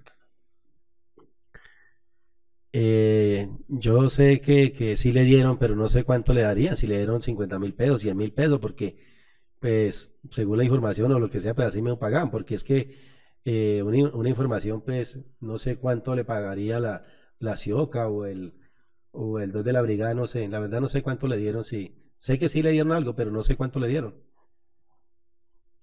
Bueno, yo eh, creo que vamos a dejar eh, hoy por ahí.